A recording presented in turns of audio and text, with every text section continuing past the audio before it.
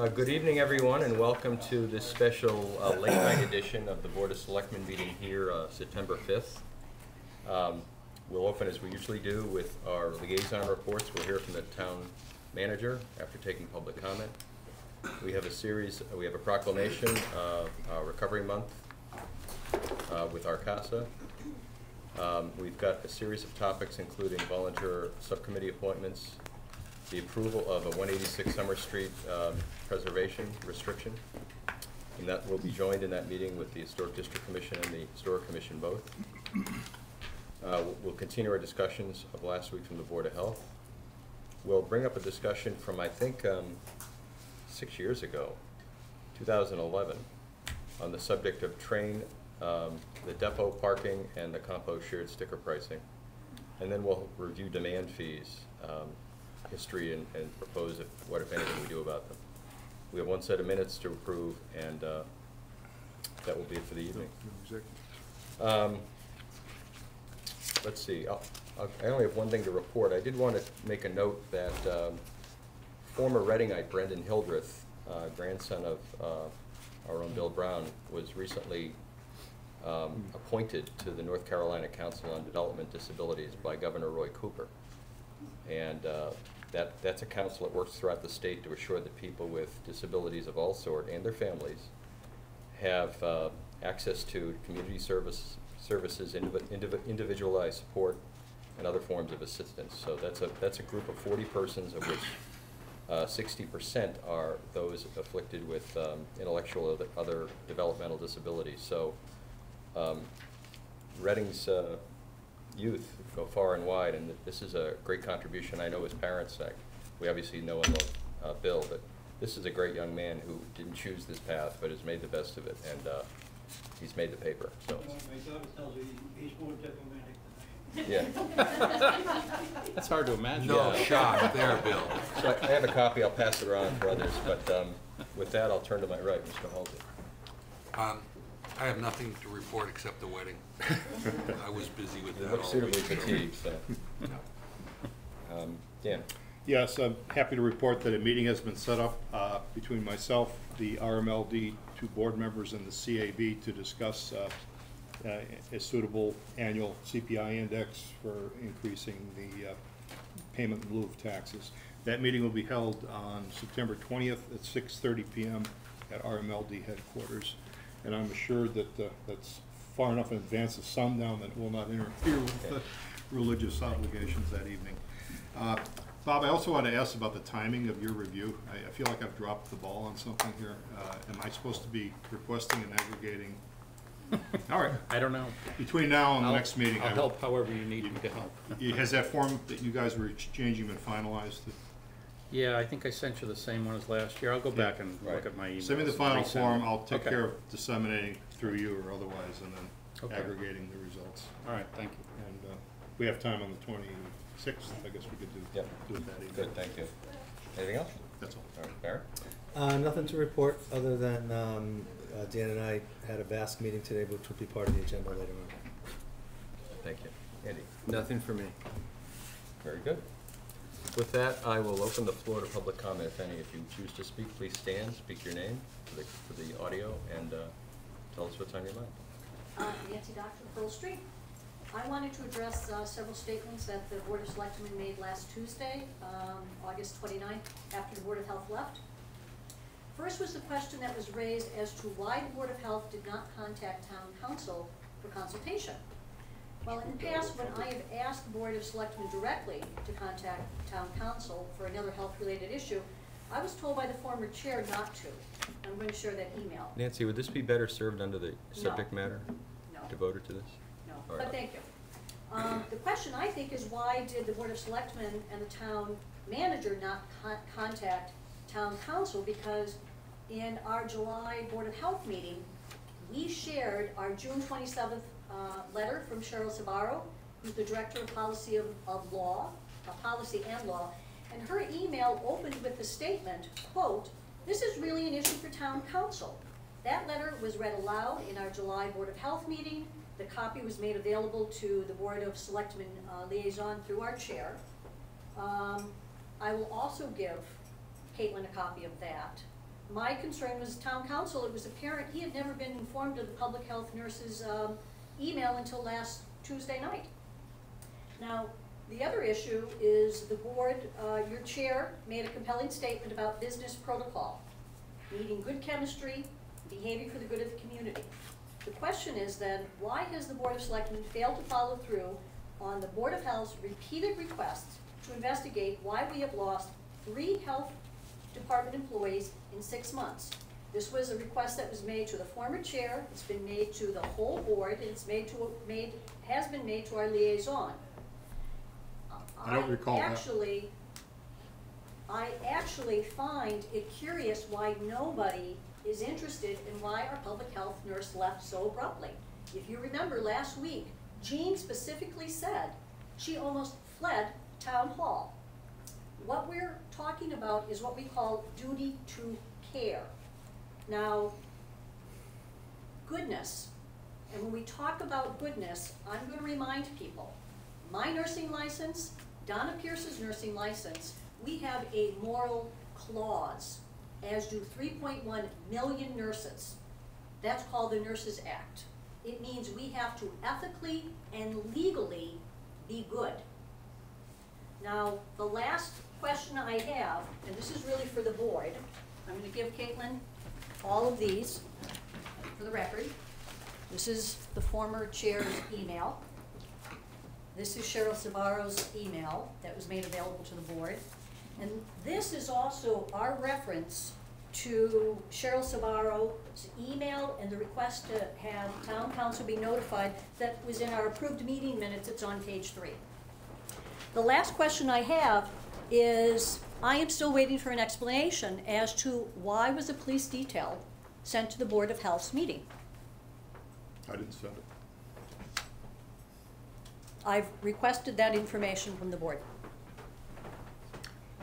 I think it has something to do with that chain of emails that was precipitated by Ms. Pierce from the surrounding communities.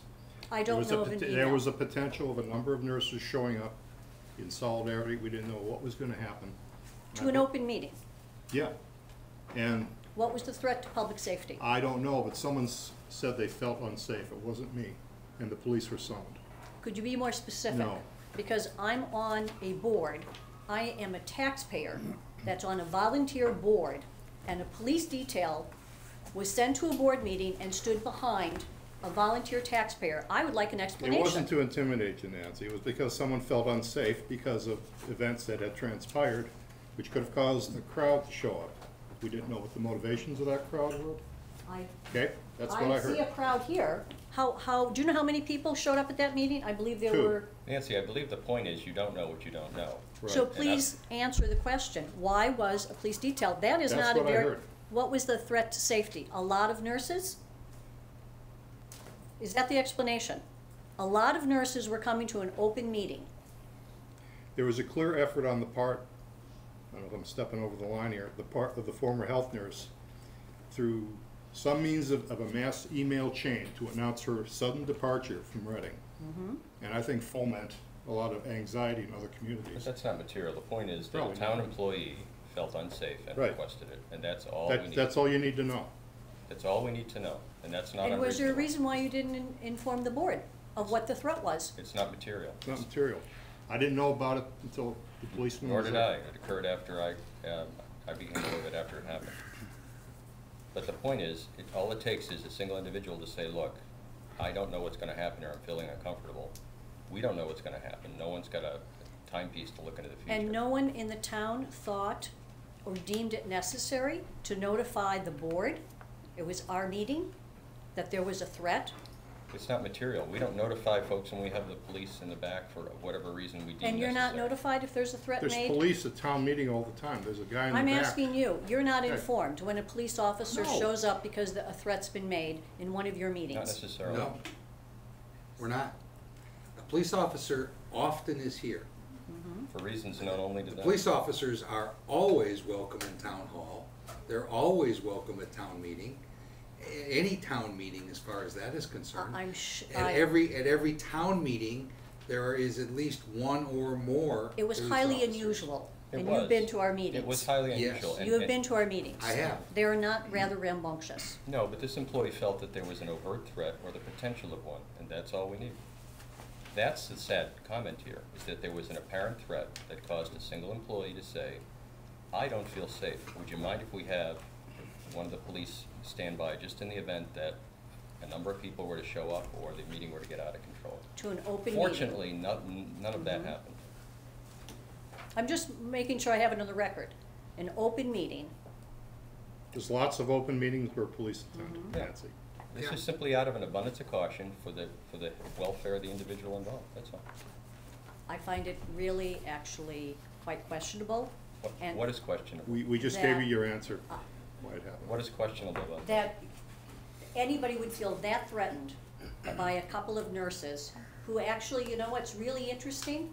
You know, the Pew Research, I don't know how long they've been in business for, sixty years? Every year, you know who's voted the most trustworthy profession? Nurses. I don't think it's a question. And, and the only year we weren't number one was the year after 9/11. The firemen got us down to number two, but that was only for a year. So were you somehow in fear of the police officer that was present at your meeting? I thought it was rather odd that a police officer would stand behind board members. Police officer didn't. I think you just want to stay off the camera, not be the center of attention. I don't think it was That's- any more That's than how I read it. Well, as Lucy would say, there's some splaining to do. We just did. Okay. We, we would do the same for any board that felt, Yeah. that felt the same way. Any board can request the police, not a- even a board or an Right. attendee at that meeting can request an officer. Thank you, Nancy. Any other further public comment? Yes, stand up, give us your name and, Beth Sherland. I wanted to let you know that I will be resigning from the Board of Health effective as soon as I'm done speaking, and I want to explain why I'm doing that. Um, I have deep roots in this town. I was born and raised here. I left to get educated and married and have some kids and came back to raise my children here. So when the opportunity came up to be on the Board of Health, I was eager and excited to give back to my community. I thought I might be able to add something, and I had a great year and a half collaborating with my fellow board members and the health division employees. The meetings were great, there was a lot of interesting things going on, and we were really getting some things done. But since January, that changed. As we got close to passing tobacco regulations, there became an adversarial relationship between the board and the Board of Selectmen and the town management. We were interfered with and thwarted at every turn. The culmination of this was last Tuesday night. It felt like we were on trial for our concerns about the new health agent. It was the most horrible experience I've had at a committee meeting in my career, and I've been on a few committees. It was toxic. It became clear that my time and opinions as a member of the Board of Health were not valued, and frankly, I don't have a lot of free time, so I have to use it judiciously. Last Tuesday, there was concern expressed about the public health of Reading. Since January, as Nancy mentioned, we've lost our health agent, our health inspector of 20 years, and our public health nurse. The latter two left as a consequence of the hiring of Laura Vlasic. Three very qualified people left because they were working in an unsupportive work environment. This is firsthand information. I've spoken to all three of those people that left. This is where time and attention needs to be spent, not putting your volunteers on trial. Volunteers are a great resource for this town, but only if you use them effectively, not as rubber stamps, but as dedicated advisors with unique areas of expertise. These boards were put in place to create a broader range of thoughts. That's what makes a healthy town and a successful government. Thank you for listening, and I greatly appreciate the opportunity to have served my town for the past two years. Thank you. Beth, let me say thank you for your service. Thank you, John. Any other comments from the board? Before we take another comment? Any other public comment? Yes, please stand, and announce your name so folks at home know who's speaking. Rebecca Lieberman, 50 Pratt Street. I appreciate the fact that you're going to uh, discuss raising of fees, uh, because I think we need alternatives to an override. Uh, I've suggested many, uh, many times and many ways that we could raise uh, fees easily and painlessly. We need to stop holding teacher positions hostage. And the, and the funds that we do have, we need to spend wisely and demonstrate to our, uh, to the town uh, residents that we are, uh, that we care and uh, spend money appropriately. Uh, people were really, I went to a lot of the listening sessions and I was listening. Uh, my impression is that folks are very supportive of paying for education, but they don't like the idea of an override that where funds cannot be earmarked past year one. And uh, this was going on at the same time that there were plans to build big budget projects, the DPW garage, a multi-million dollar early childhood center. And uh, none of that, uh, none of the budget woes in the education budget came up at the time that these big projects were being put on the table. Uh, so I just want to, uh, want to say lastly that teachers and public safety officers have to be the number one priority. If that means cutting, cutting drama, cutting athletics, whatever it takes, but teacher positions can't be on the table. Otherwise, we're gonna have a, a, a low morale, constant turnover. We're already seeing some of the, some of the fallout from what happened with the threat to the teacher positions at the middle school level. And uh, my son is currently in a class of 34 kids. I mean, this is not the town that we want to be. So I just want everyone to keep that in mind. And um, I'll just remind you, I've spoken in public meetings before, that uh, when our town manager asked what things could we cut, well, uh, let's, let's end free leaf pickup. We can pay for that. Let's raise the cost of a dump sticker. Why should there be free parking at Reading Memorial High School when the bus costs so much? We could maybe earmark the funds for a late bus and ease the burden on families where the cost is four fifty per child with no family cap. I know I've paid for two kids for several years, uh, and and it's like subsidi- subsidizing families who have cars. I have lots of other suggestions I could make for fees, and uh, I, as some people have said, well, it won't plug the entire budget hole. Okay, but maybe we could go for a smaller override. And as also the town manager said in a meeting last year, and he was absolutely right, we have to show that we've turned over every rock. But the teachers need to be on a pedestal away from that rock. They can't be worried every year. Otherwise, uh, we had several teachers quit the day before school started. Uh, this is just unfair to our children, and we can't do this. Thank you so much. Comments, Barry? Uh, Becky, thanks so much. It's, um, you basically, that's our work schedule over the next year. And, and as you know, um, this board is going to, working with the school committee, working with the trustees, are gonna be turning over every rock and trying to come up with a budget that works. But as you know, from going to the listening sessions, um, last year, no amount of fee increases is gonna, um, plug the budget gap that we have. And we're not gonna raise fees just so- so we, so that we, just because we can. We have to look at fees in a, in a way that makes sense and not just say, okay, we can raise it, let's just raise it. Um, we have to look at the cost of covering that, that service and, we- and, um, th- there may be some people who, who would think, okay, I, I'm for raising the fee a ton of money at the, at the, um, you know, so I can park at the depot. Those are the folks that might not park at the depot. So we have to look at everybody, um, everybody's needs, everybody's wants, um, before we move forward. The other thing too that's really important, um, and this Board of Selectmen is not gonna be able to change state law, which basically is that when you do an operational override, the money is only earmarked for year one. We can say as much as what we like, and, and I think that this board has done it, and the school committee has done it as well, to say that if we have the funds going forward, this is what we'd like to spend it on, but unless we wanna violate state law, we're not gonna say that the funds are gonna be earmarked, we can only do that for the first year. So I would welcome your participation and to stay engaged and to stay involved. Um, but we have a structural deficit that's gonna require an override one way or the other. So we're gonna look at fees. One of the things we're gonna look on is tonight. Uh, we're looking at, at the depot fee. There's others, um, there's others that are, are in play as well.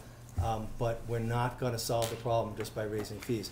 There's gonna be an override, um, put forth one way or the other, whether it passes or not, that's up to the voters. That is the only way to make sure that what you want, which is teachers, is gonna happen. That's the only way. Uh, Becky, I'd also second what Barry said, but amplify it a bit. Your comments would be helpful not just tonight, but throughout the whole process, and not just to this board, but. the school To committee. the school committee, particularly as it comes to um, prioritization.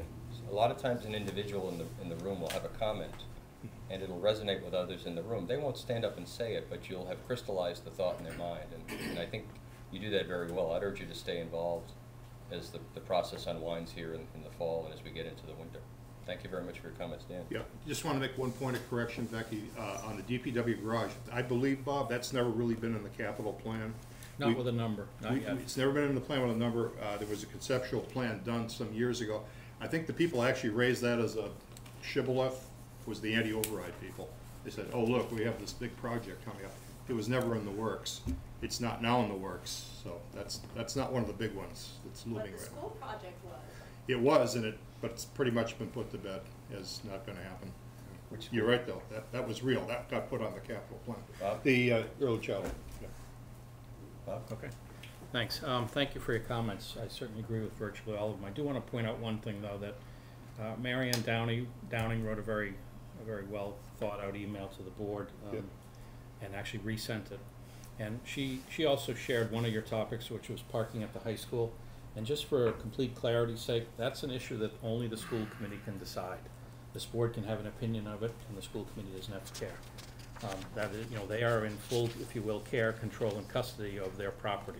That's interesting, because when I brought that up at the school committee meeting, they said that any parking fees from the high school would belong to the town. Is that wrong? Um, well, when they say belong to, um, they may mean collected and put into the general fund to be shared by all. That could be correct. Um, the schools have a lot more what are called, I don't wanna bore everyone, Andre's the only one that's gonna like this. No, but I just The, wanna the bring, schools have a bring lot the of, to the right yeah, the schools have a lot of revolving funds, so a lot of the money they collect, for instance, athletic fees, they keep all of it. For parking fees, I don't believe they can keep all of it, they would share it with the whole town, so that's, that's what their comment But the means. amount is set by them But exclusively. they have to decide whether or not there is a parking Right. fee, and if so, what are the terms and conditions? And then, you know, if they collect fifty thousand dollars, at the end of the year, that revenue goes into the general fund, the next year it's shared through the budget process. So, so you're, you'd wanna go back and have that discussion in terms of the fee level. It goes back to the general fund, so both sides are benefit pro rata, right? Yeah, and just to amplify what, what Barry said, uh, you know, he's in- indeed accurate. Year one, the override can be discussed. It, it can be worded in a ballot question, and it must be followed. Year two, you can do anything you want. But, um, in point of fact, this community for at least twelve years has followed a fairly rigid yet flexible way to allocate funds. Um, we do as good a job as any community in terms of both sides, if you will. Schools and town have full discussions about what their priorities are. And as a rule of thumb, um, we share them according to a formula. But either side has the ability to step out and say, this year I have something different. This year I need hundred thousand dollars for point X. And quite often, um, there's been agreement on those. For instance, um, that's how we hired a school resource of- officer in the police department. That's how they hired some, um, you know, public health money, I'm sorry, student health, uh, services in the high school. So it's a flexible thing, but it's not that all of a sudden in year two, something's gonna happen that no one could have predicted. That's not how it works, and it, it hasn't for twelve years at least. And the finance committee has a very rigorous process that's followed in that sense. Yes, Mr. Brown? Uh, Bill Brown, uh, Martin Road. Uh, one thing that people must under, or should understand, fees can only cover the cost of operation. yep. You cannot make a profit on fees. And also, a fee, it must be voluntarily, unlike our stormwater management fee, which is a tax. Emerson versus City of Boston. Can you repeat that, Bill? I'm sorry. Uh, stormwater management fee is a tax. Yeah. Uh, Emerson versus City of Boston, nineteen eighty-four. uh, Massachusetts Supreme Court. What he's saying is it's not discretionary, whereas parking is discretionary. You don't have to That's park, correct. Right. so it can be a fee. You, you collect fees at the high school for parking, you- you can only administer cost of what it costs you to have somebody look over it. That's all you can, you can't make a profit. Thank you, Bill. Any other comments from the public? Thank you. Bob? Uh, Thank you, Mr. Chair. Just a couple of things. Um, One is to make clear, uh, it's up on our website now, but just to say publicly, the September 20th financial forum has been canceled. Again, that was the September twentieth financial forum is canceled. Uh, It will be replaced, if you will, by a September twenty-seventh FinCom meeting. Uh, There was many reasons for it, one including a conflict with religious holidays. Um, But one of the main concerns was the agenda uh, for the financial forum was really a FinCom agenda. The issues, uh, all but one issue were not, not for all elected boards to sit through. It's really a financial uh, situation. There will be uh, very much uh, an October 11th financial forum at the library. That has always been sort of the big one where we really discuss budgets for the next year, and hopefully the town accountant has some clarity on uh, how free cash closed out. So again, no meeting on the September 20th. Uh, There will be a FinCom-only meeting on September 27th. There will be a financial forum on October 11th. And just to be clear, because the selectmen's calendar keeps changing with travel, uh, the next scheduled selectmen's meeting after tonight is September 26th. So tonight replaces the meeting that would have week. originally planned for next week on the 12th. And the FinCom meeting of the week of the twenty-fifth, that's just FinCom, that's not FinCom Board of Selectmen. That's correct. That's correct. Okay. And I'll send you all agendas. Anyone's obviously welcome to come. If there's a quorum, we can post you. It's, Okay. it's not a problem. Um, the only other thing I had, I wanted to update you from, uh, from Victor, from our, uh, senior tax relief program. Uh, they have received hundred ninety-four applications and so. Fifty more since we last met. Yeah, and so far they have issued about ten denials. Um, there, the Board of Assessors still needs a little bit more information for some of the folks, that's why I say about ten denials. Um, of the approved applications, there's a total circuit breaker amount of hundred and eighty-two thousand and change. So if, for instance, the board set a factor of one, it'd be hundred eighty thousand dollar shift. Two is your maximum, half is your minimum, so you're looking at a ninety thousand to a three hundred sixty thousand dollar shift. And that's a topic that, again, um, chair and the vice chair have listed as goals to have that discussion. Right. Uh, you know, with the assessors and with myself, and, and we'll be happy to do that. Um, but it was a very successful program. We didn't know, again, we, we discussed numbers of five and six hundred last year, we really didn't know, because there's no data that you could prove.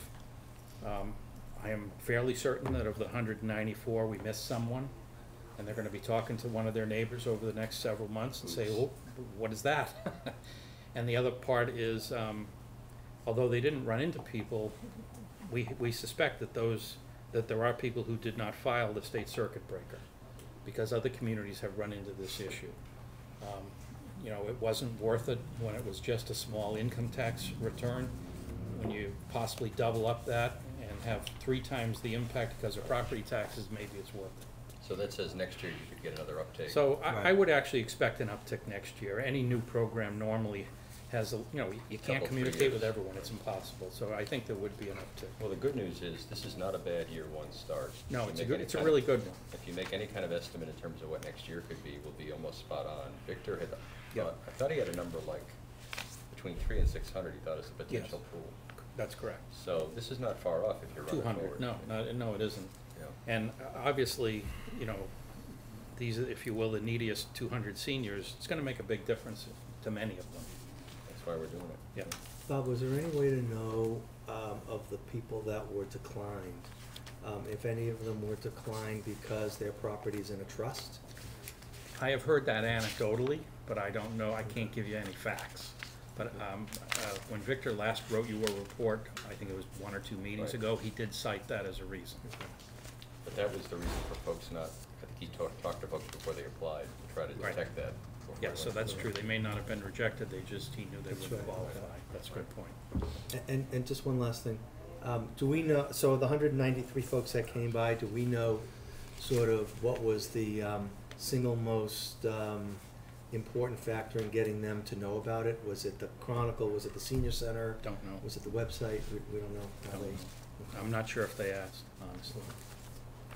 Um, he, he did a, I think two, maybe three, I'm not sure, meetings down at the senior center that were very well received. Good, And I good. know he got a lot of references from that, if you will, Good. Yeah, We certainly got a couple emails too, so. yeah. That's right. all I have, thank you. Thank you, Bob. Uh, with that, we have a proclamation for uh, Recovery Month. Thank you, Mr. Chairman. I'll re- read the short version first and then the longer, uh, if you'd like. I move that the Board of Selectmen declare September 2017 as National Recovery Month. Second? Read that first, then I'll read it. Yes. Oh, I read it now. Proclamation, National Recovery Month. Whereas behavioral health is an essential part of health and one's overall wellness. And whereas the Board of Selectmen determined that substance use disorders were profoundly impacting the town and our residents such that they helped establish the Reading Coalition Against Substance Abuse in 2006 to improve community collaboration and reduce substance misuse. And whereas prevention of mental and substance abuse disorders works, treatment is effective, and people recover in our area and around the nation.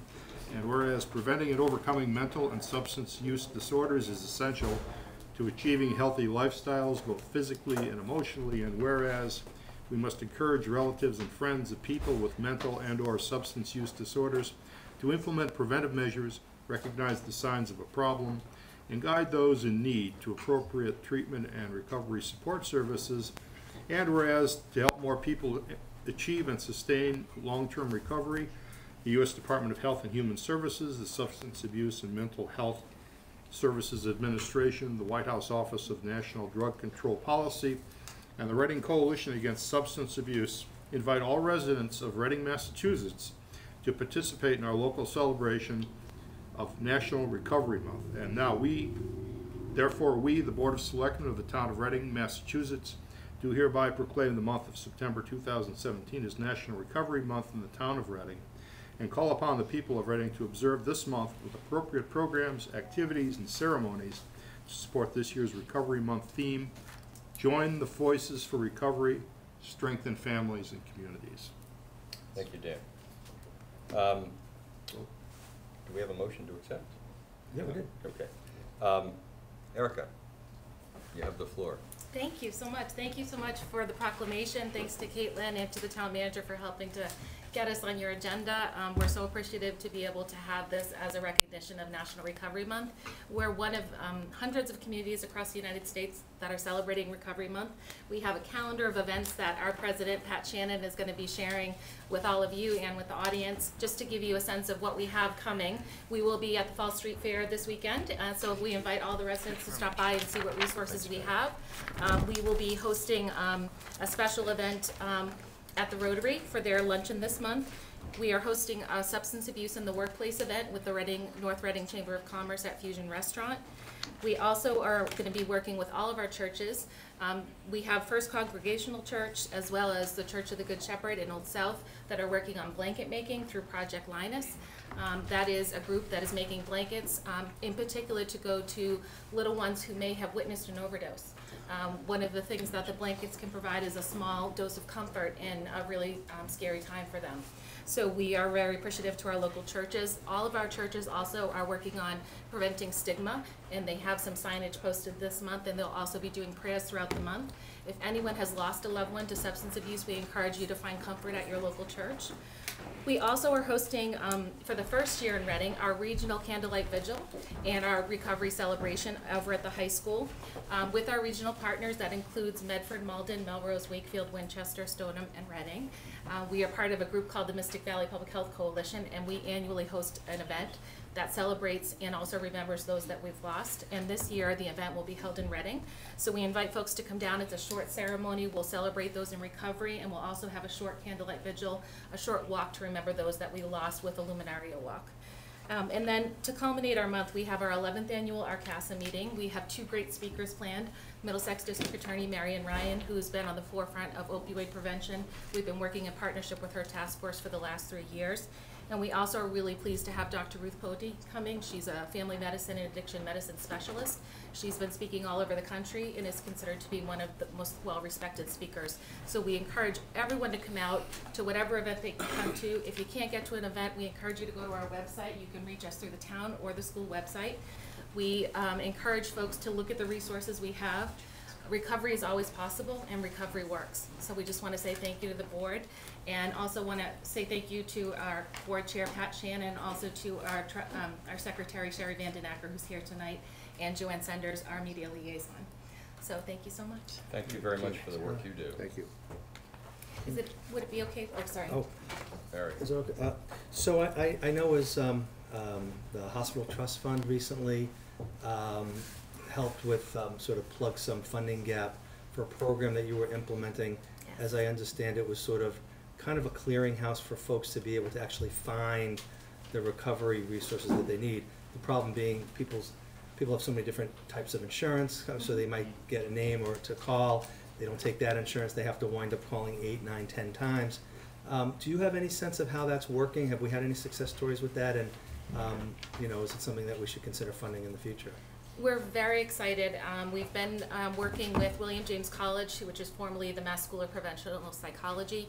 They run a um, interface referral service, which we are now contracted to be able to provide to Reading residents. Basically, it's a matchmaking service like you described. Um, since we launched in uh, late November, 60 families have been matched with services. That's So we're really thrilled to see, and we've had all levels of participation from um, preschool families all the way to elders. Um, so we're continually trying to get the word out, but to have sixty families matched in the first nine months is considered really strong in comparison to some of the other communities that have the service. And, um. Interface will also be present at our, um, um, our eleventh annual RCASA meeting at the end of the That's month. Um, there's information on our website, it's free for residents, they can use it as many times as they would like. Doesn't matter what the issue is, it can be any mental health concern, any substance abuse concern. They basically do the legwork to match you with three quality, um, licensed Because providers. that was the hardest thing, is that people maybe want to get into recovery, but they just can't find the right place Yeah. because there's nobody there kind of assisting, and it's. What form does that matchup take? Is it a, Um, it's done over the phone, so there's an intake over the phone. Um, they share what, what they're looking for, maybe I some of the see. barriers. Um, and then the licensed clinician who answers the call then says, okay, give me a couple days, I'm gonna do research. We have a database of credential providers and they will match who has open appointments, who takes their insurance, and who would be the best fit for the, what they're looking for. So it could be as specific as, um, my husband is in recovery. As a family, we want to talk through some of this. We're also going through um, some issues with caring for an elder parent, and my seven-year-old has anxiety. So you could have all of those things in one family situation, and so they'd be looking for who's the child care provider in that, for maybe a child psychiatrist, and then who might be helping the family. And they've been successful in doing everything from outpatient therapy to home care wraparound services for, for Reading residents. So we've had folks who've said, I've tried a lot of different things, but this worked for me. Um, so we're really thrilled to hear, especially for folks that have trouble finding a provider that works for them. Um, it's been really successful in that regard. And they also follow up to see how it worked out. As So you they track them. As you tabulate your, your metrics, when, when RCASA comes back and talks about the year and wrap-up, this might be one, an interesting one to add Yes. to the. We'd love to share more about the specifics of who used the service, what they used it for, and all of that kind of stuff. Um, in particular, I know our, our school psychologists have been very happy to have it because it's very simple for families to use instead of saying, here's a list. Yeah. I'm, I think this person's good, I'm not sure if they're good. They're saying, here, you're gonna talk to a licensed clinician, someone who can work through what you might need, because sometimes people don't know what they need, they only know that they're in crisis or they might need support, but they don't know specifically what they might be looking for, and that's, a clinician is really trained to help draw that out. Yeah. So, we'd love to come back for a wrap-up. Thank you very much for coming this evening. Um, If I could just have a moment. Sure. Is that okay? Yeah, Okay, please great. do. So, um, um, I wanted to mention one exciting event that we have coming in October, we hope. Um, there's an event, um, that is called Jams for Jake, that was put together by some of our local, um, young people who graduated in two thousand nine. Jams for Jake.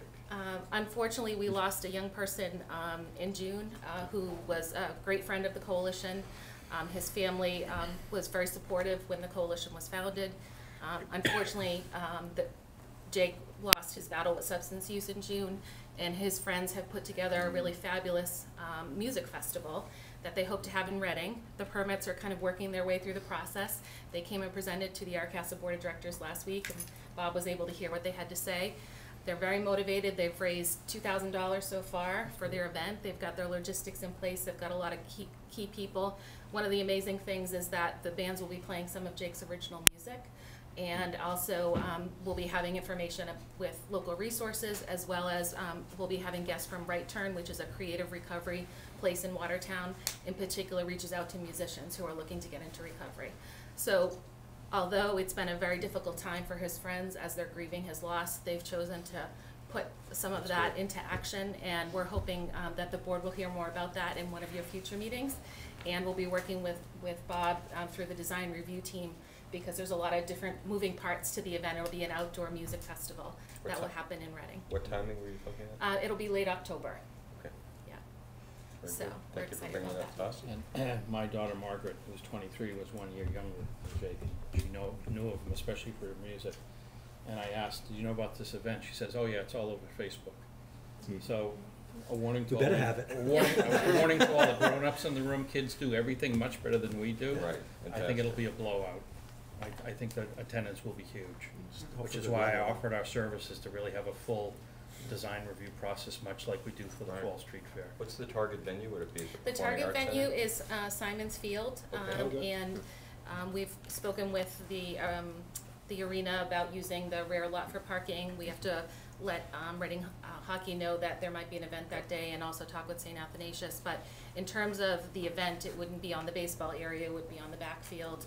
Um, And they have um, plans to, to rent all the necessary um, services that we need, a stage and porta potties and everything that you can imagine, and they have uh, eleven bands already in motion practicing.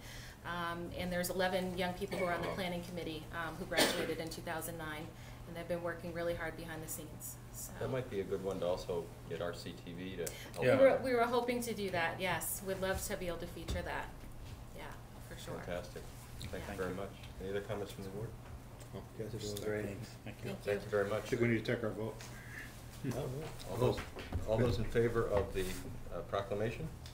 Five zero. Can we present it to you, Erica? Yes, that would be Great. great, thank you. Do you mind if I invite my board members? Not at all. Come on up. Come on up. Okay, yeah, that's probably a better time. Because the summer Oh, Thank you very much. Oh, thank you so much. Thank you so So much for appreciate all your work. support. Thank you. Thank you. Thank you. Thanks, Timothy. Thank you. Thank you very much. Thanks. Joanne, good work. Hi, Joanne. Thank you. Over here? Sure. I am a board member. Hi, Sharon. Thank you. That would be my favorite. Would it be okay to take a picture with me? Um, Yeah. Sure. Yeah, we're gonna figure out Okay. how to do that. We should probably come around. Yeah. Come around either, either loop.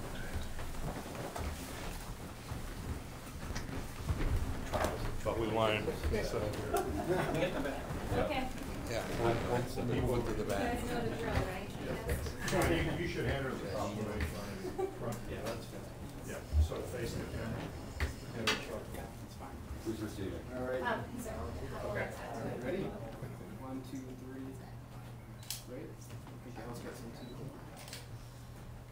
Got it out? Yep. Thank you. Thank you. Thank you so much. Questions? Um, I was wondering if there's a way to donate to this, James J? Yes, there's a GoFundMe. So if you would like to donate, it's GoFundMe under Jams for Jake. And there's also a link on the RCASA website. Thank you so much. We funded social security while we were away. Thank God. Each generation obsoletes the format. Exactly. Can we take a quick break? I'm just gonna restart my computer. Can we take a five Okay. minute break? Why don't we take a, uh, three-minute, Five minutes. Take me five minutes Sure. to pack my bag. why don't we take a five-minute recess? We'd like to think that's All right, I'm out of here. Thank you, everybody. Our next topic for discussion is the approval of a 186 Summer, Summer Avenue Historic District Preservation. Oh, sorry, my bad. Thank you. Our next uh, discussion is um, volunteer appointment, uh, subcommittee appointments. The VASC met today at 6:30. We did, and, uh, well, we interviewed uh, candidates for uh, Climate Advisory Committee, one candidate for one position, so that one's easy. Celeste Cracky, uh, very qualified and interesting, uh, uh, more of a- an IT information, uh, social media person who's very interested in the environment, so it's a nice compliment to the folks on the committee, I think. Uh, We had two uh, incumbents re-up for the Board of Cemetery Trustees, Janet Baronian and Olive Hecht, and newcomer, but not really newcomer, Virginia Blodgett was recommended for the open seat. Uh, Council on Aging was a last-minute change. Uh, Sally Hoyt had submitted a letter that Caitlin showed us, asking that, uh, effectively resigning as a full member, but asking that we appoint her as an associate. And we didn't make that recommendation. I will make that motion. Uh, Board of Health, we had two candidates, Kevin Sexton, uh, former selectman, and Heidi Pfeiffer, who's a thirty-two-plus year uh, experienced nurse, uh, lived in Reading for many years. She's a little bit new to town politics, but she has a deep interest in the work that the board is doing. Um, In light of the recent uh, resignation of Ms. Sherland, which uh, Laura just told me is official as of now, we are able to fill both those seats this evening. Okay. We have two candidates that are very, uh, you felt uh, Heidi was qualified? Yep, We didn't very vote on her, but Yep, very able. very Okay. good. So, Do you have a motion? I do. Uh, Move that the Board of Selectmen accept the recommendations of the Volunteer Appointment Subcommittee as follows. I'll do them all in one motion. Board of Cemetery Trustees, Janet Baronian, term ending six thirty twenty. Olive Hecht, term ending six thirty twenty. Virginia Blodgett, term ending six thirty eighteen. Board of Health, Heidi Pfeiffer, term ending six thirty eighteen. Kevin Sexton, term ending six thirty twenty. These are full memberships. And Climate Advisory Committee, Celeste Cracky, sick, term ending six thirty twenty. And the new one is Council on Aging Associate Member Sally Hoyt for a term ending six thirty nineteen. Do I have a second? Can I second if I'm on the committee? Absolutely. Absolutely. Okay, we have a second. Motion made. Any further discussion? Uh, I just have a question, um, about, to Kevin, your, what are your, um, public health, what's your public health background? I don't have a public health background.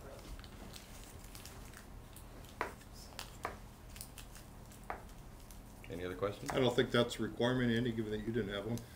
Um, well, I had a, a, a You're an background environmental in engineer. Physiology, toxicology, mental health risk assessment, so, Right. um, yeah, it was, do you have related, uh, human health experience?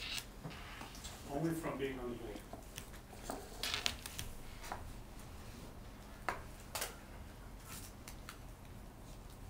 I, w- I would, uh, like to see a, someone with some sort of human health, uh, background, uh, be appointed to the Board of Health. Someone who can understand basic toxicology, basic, uh, food safety, things like that, um, and the science behind it, because it, it does come into play at times on the board. You Okay. need to understand this. Could I ask a question to the chair? Hang on, Dave. You do have two, you do have, um, one candidate and the existing Right. chair Right. with potentially that skill set. Right. But ideally, the, the entire board should understand these, the underlying scientific issues behind the, the various health regulations in the state. Okay. Yeah? Could I, John, could I ask you a question? Uh, I don't, you weren't there for the interview process. Uh, What's your degree of comfort with proceeding? I mean, you're, you're the chair, you do have requisite experience in these areas. Is this an area where mentorship can catch people up on things they need to know, or what would you say? Uh, a lot of it just might be even procedural, uh, so, but, uh, I do believe that we could probably catch, we could catch them up on that. I, I do understand Andy's Yeah. view of having a background in that, absolutely. I mean, that was one of the reasons that I thought that I would have been of value to the, to the board. Sure. Because of my background. Uh, whether that would just, uh, discourage someone from, uh, qualifying, uh, I, I don't think so. Okay. There are no formal qualifications in the role anyway, as described. I understand that. Yeah. Okay. Any other discussion on the, on the proposed motion? All those in favor of the motion as made by Mr. Ensminger, raise your hand. All those opposed? Four one, motion passes. Thank you to the volunteers. I think we feel a deep debt of gratitude to folks that take time out away from their families, times away from their jobs, times away from their vacation to work on some of the town's problems. Um, It's, uh, um, doesn't pay very well, but the benefits are great. You get a nice warm feeling out of, out of doing the work. So again, thank you for your volunteerism. Okay, and with that, we will move on to the discussion of the uh, 186 Summer Avenue Historic District Preservation Restriction. Um, Bob? Um, yeah, there's, uh, two boards here, I don't know if they're called into session. Was, uh, do you know if the meetings for us were posted? Yes. All At the Historic District Commission meetings? o'clock. And, uh, I guess I'd be happy to call the, uh, Historical Commission. Now, our chair is still away in, um, in, uh, New Hampshire, and if I can, uh, at least for, since it is a formal meeting, I think we're absent a member, and I know Virginia is here, I would like to appoint Virginia as a regular member in the absence of, uh, one of our members. Okay. okay. And I I thought, also would like to appoint uh, John Williams um, as like a, one of our members as well. Okay, thank you. I thought it would be most helpful for the selectmen and myself, and those who are a little less familiar with the issue, for Ray to give a little bit of a background. I know some of you have gone to these meetings, I have not, some of you have not. So if Ray, you could just give us an outline of the Okay. scorecard. here. I, I won't go all the way back to the beginning. We don't have that much time. Um, but, um, a- a- as, um, both commissions and the board is aware, are aware, the, um, uh, the Historic District Commission did issue a certificate for, um, for this project some time ago, and one of the connect, one of the conditions of that certificate was that a historic preservation restriction be placed on the building. Now, historic preservation restriction uh, can exist in perpetuity, um, uh, but it has to be approved by the Mass Historical Commission. So uh, unfortunately, we, we've been, um, it's been like herding cats. So we started with the, um, the Mass Historical Commission model his, historic preservation uh, restriction, and um, um, through the, um, uh, the, the past quite a few months, um, the uh, Historical Commission and the Historic District Commission crafted something based on, on that model, uh, but uh, included a few uh, things that we, that were deemed to be um, more suitable for this particular circumstance. And in particular, uh, a, a, a uh, historic preservation restriction is typically uh, en- made enforceable by the Historic Commission, but in this case, since it was attached to a certificate from the Historic District Commission, we wanted to be, make sure that the Historic District Commission would be able to um, uh, enforce it as well. So, uh, uh, we came up with a, a version that was acceptable to us, it was accepted by Criterion. Um, it was then sent off to the Mass Historical Commission. Um, they were not happy.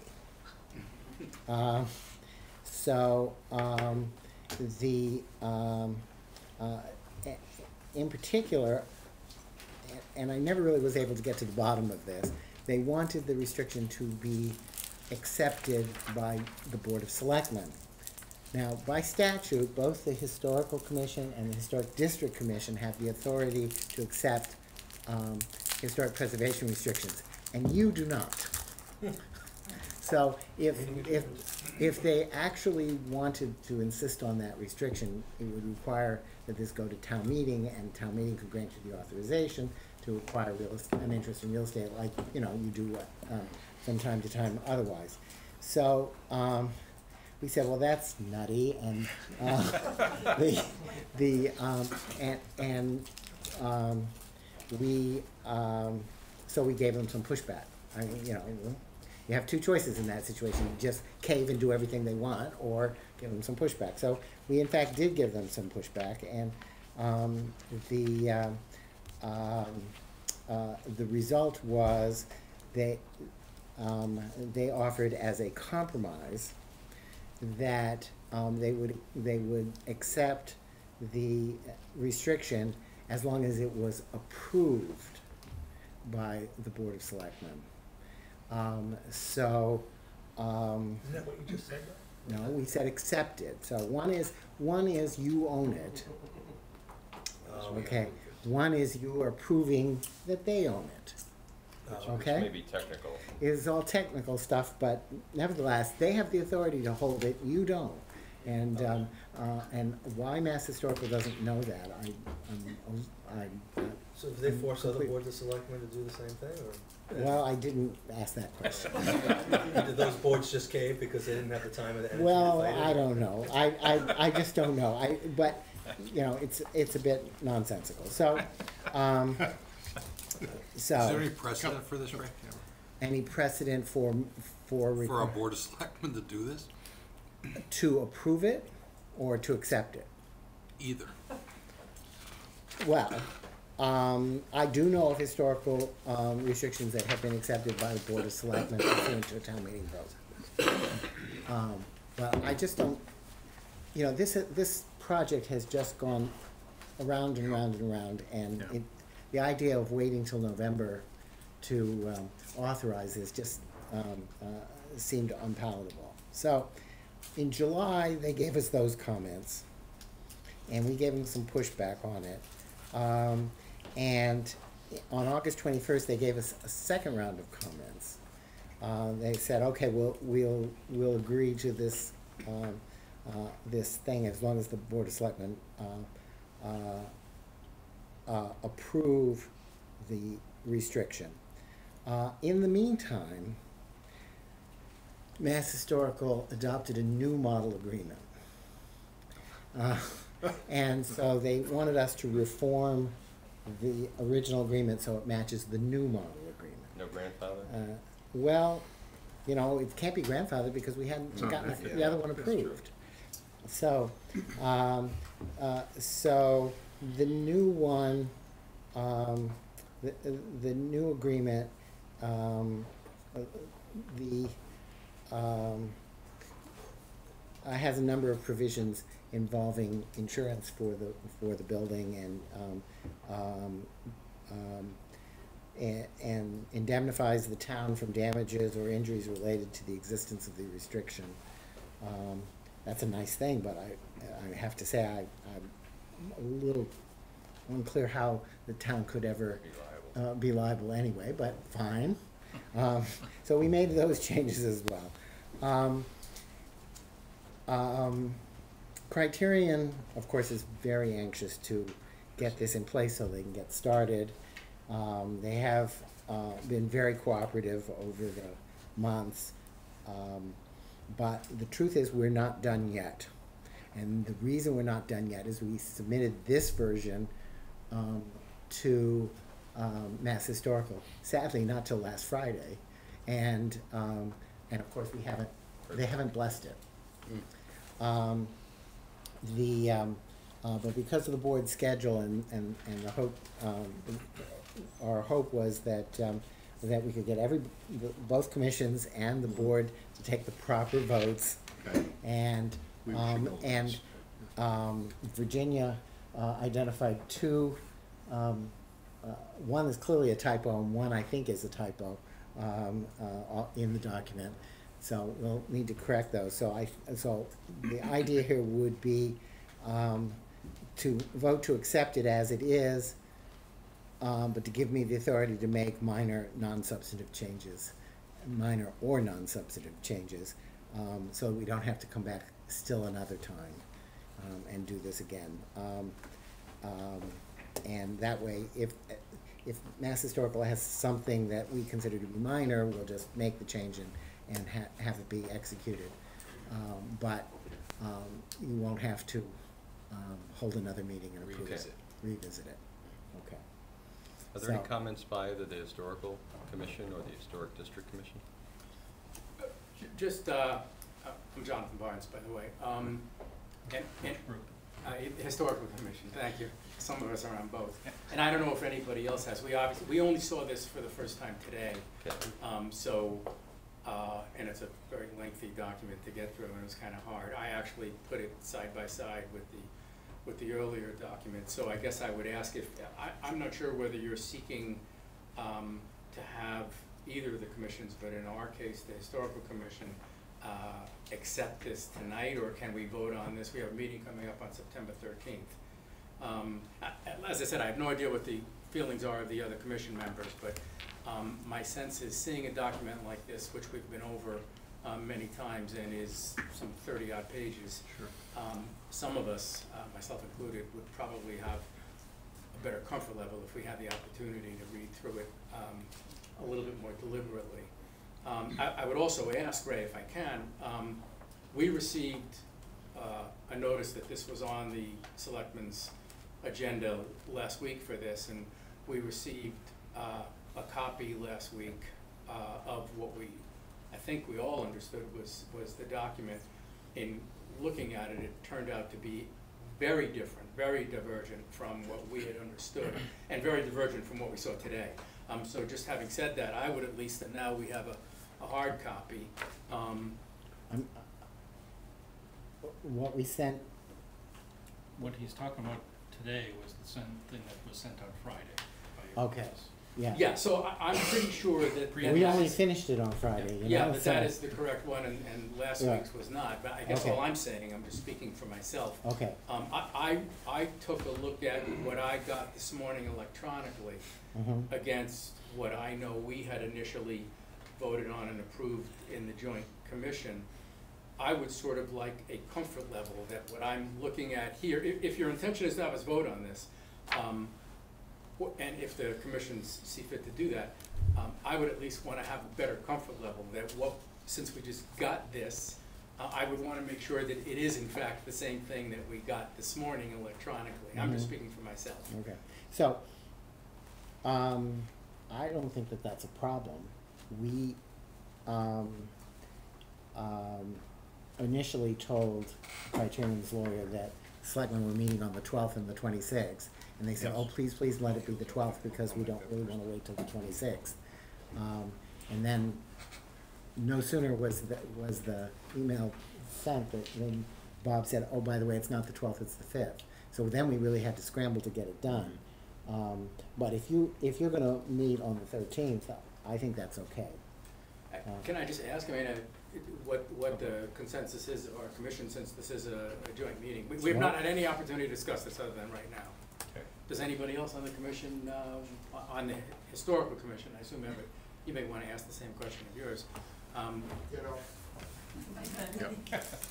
Okay. so you wanna hold off until the thirteenth? So do both, both commissions have meetings on thirteenth? No, I, I know the, the historical commission has a meeting on the thirteenth. right? Yes. um, we set up a tentative one, I don't have to look for the date, I don't know if I have it. Um, September eighteenth. We won't be back till the twenty-sixth, so The they can 18th both kinda get them works. done. I mean, is there anything? Well, is there any reason selectmen can't do it tonight and the other I, boards I wouldn't can't feel do it after? comfortable doing that. I think that these two boards should act first, and then we can, would you say, I think that's the right order, Ray, would you say? Otherwise, you're approving something that They they haven't done yet. Hasn't been accepted or. can't get there. We want them to be Technically comfortable exists. and do all their vetting.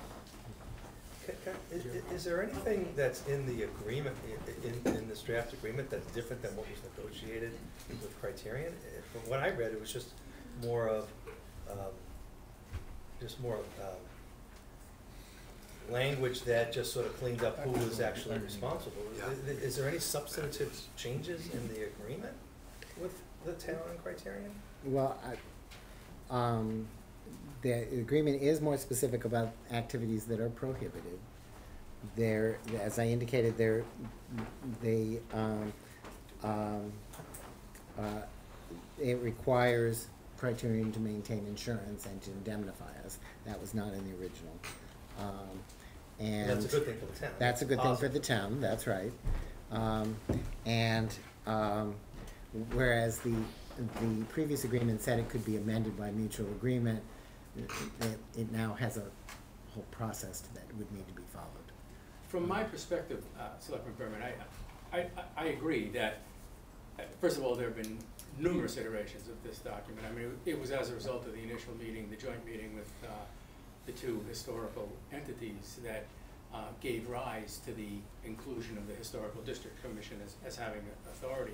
We went through several iterations thereafter until we finally reached agreement. This is very, very similar to the last version which we approved, although I would, I would say, I agree, there are whole provisions in it towards the end, um, Mhm, that that we had never seen. I, I didn't have much issue with them, and I doubt that, that others on the commission do either. All I know is, I, I, and I would also say some of the attachments were not there. I'm sure they're exactly the same, but perhaps it's, it's the lawyer in me, but I don't, I don't wanna sign, nor do I want to, uh, bind our successors in perpetuity to a document that, that, that we have not carefully at least read. Um, particularly in light of the fact that we've seen different versions as recently as last week. I, I just wanna have a comfort level, and I, Okay. I presume I speak for others, that this is in fact the same document. Any other comments from the board? So it seems the most expeditious path is to defer the approval to acceptance tonight. No, the approval. Our The approval. approval. Your approval. Our approval, their acceptance. Yes. You're going to defer your approval to your next meeting, give them a chance to vote Right. to accept. Struggling over the alphabet now. Um, so we'll defer our approval till the twenty-sixth, whereupon both boards will have a chance to review and digest. And I presume they'll also have time, if there's any questions, to go through a round of email to clarify those. Oh, boy. Uh, Edward Blodgett, uh, Chair, uh, Reading Historic District uh, Commission. Um, I'll make an effort to get the commission, the HDC, to have a joint meeting with the Historical Commission on the thirteenth. I That can would be schedule great. it, see That'd if be we great. get a quorum there. Okay. It's The difficulty, Uh, that way that would free it up, and we get the interchange back and Right. forth. It's the interchange that's the, what, understanding how the, how it's going to work. Um, My, my major concern is that, uh, the Criterion be treated fairly in relationship with the rest of the district.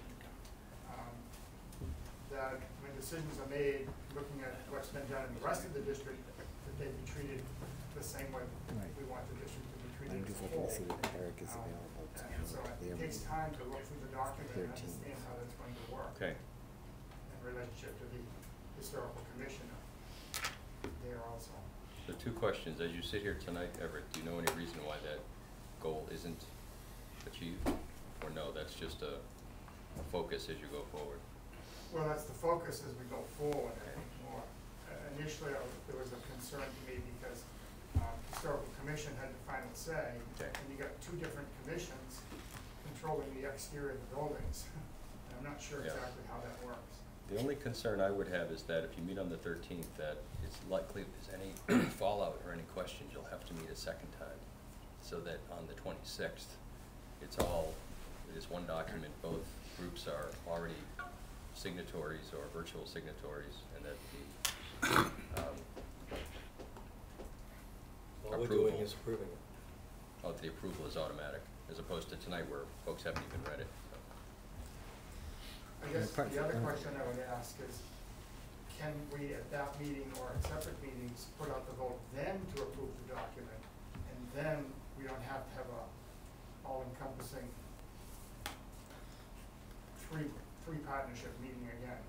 Bob? Um, if these boards can meet jointly and only meet one, and they only need to meet the one time, and they're all in agreement, I can pull the selectmen and meet as soon as possible after that with a single agenda item, if three of you can make it. Um, but I suggest you discuss this a little more tonight to see if you're comfortable with that approach, that as long as they're in agreement, that you would be in agreement with that, so that at a moment's notice, for instance, the three of you might meet before the 40 twenty-sixth. Then the only 48 caveat hours notice. Yes, well, forty-eight hours. Not at a that's moment's correct. notice. Now, Well, the way government works, forty-eight hours. Yeah, isn't it? Exactly. I guess the only caveat is if there are changes from what the document we reviewed over the weekend, I'd like a chance to peek at those as well. Okay, well, if they actually can approve it on, on the thirteenth, then you'll have some time to do that. Yeah. And I will attempt to get Eric Russell from my office to that meeting. Great. Um, Okay. If, if, so, Okay. Eric is the person in my office who's actually been involved in all the drafting of, right. of, of this and working with, with the two commissions. I can't promise his time because he's not here to defend himself, but, um, Well, that's the best time. they, but, um, a- and it does look like he has something in the late afternoon in the city in Boston, so as long as you, you know, have to meet at six thirty, I think he'll probably be able to do it, but I should, Okay. I should probably, Okay. um, verify that with him.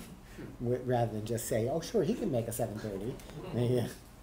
So I actually have jury duty that day. Oh, boy. I'm assuming I'll be, I He'll- I will not be seated, but. He'll be sequestered. Yeah. Virginia, did you have a question? Yes, Virginia Adams, a member of both commissions, and um, I had an opportunity to read the hard copy, because I received my copy early today, being coming down to town hall, and I could see no substantial um, changes that would make either commission nervous, so um, I think we've got a document that's very Okay. close to, Good. should I say perfection? Well, Well, you that. found two typos, so, uh, But so they were Closer now. She said close to perfection. Okay. All right, very good. So that's our plan of record. You guys will meet on the thirteenth. And we'll reconvene on the twenty-sixth on the question. Sorry to have you come in, but it was good, good we got this covered. Thank you anyway. Thank you. You need to adjourn your meetings. During the meeting. Yeah, I will. Why don't we take a minute here while the room is Sure, thank you. Thank you very much for coming in. Yeah. Yeah. As long as they make it seven.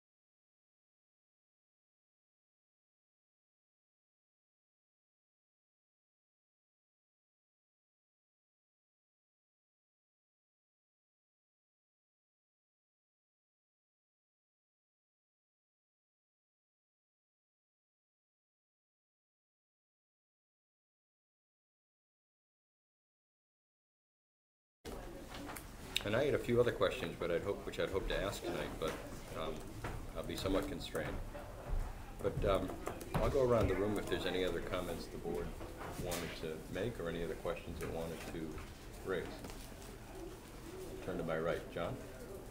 Um, No, I, you know, I've, I heard a lot of things. I've had the opportunity to read a lot of things since the last time. So, um, I think I have the facts that I need to go forward with this discussion, but I have nothing to add at this time.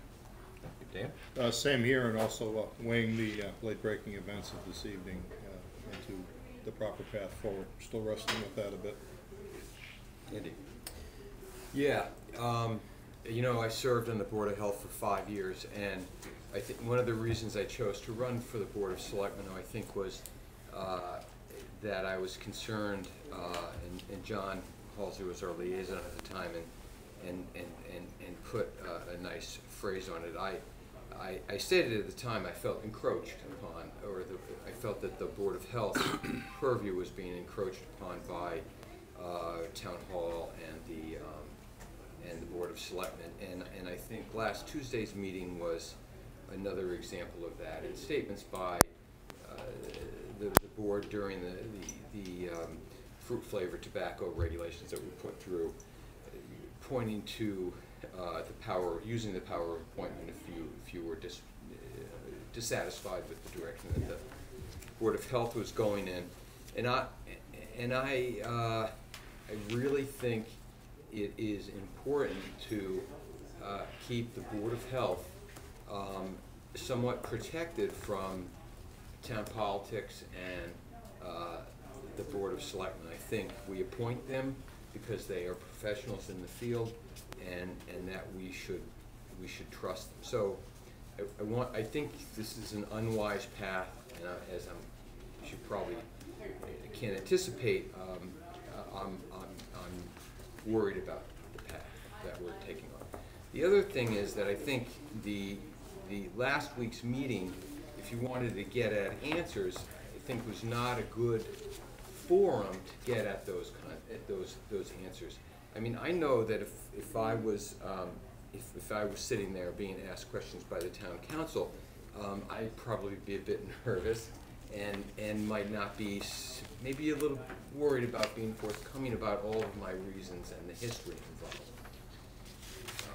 Uh, also, um, uh,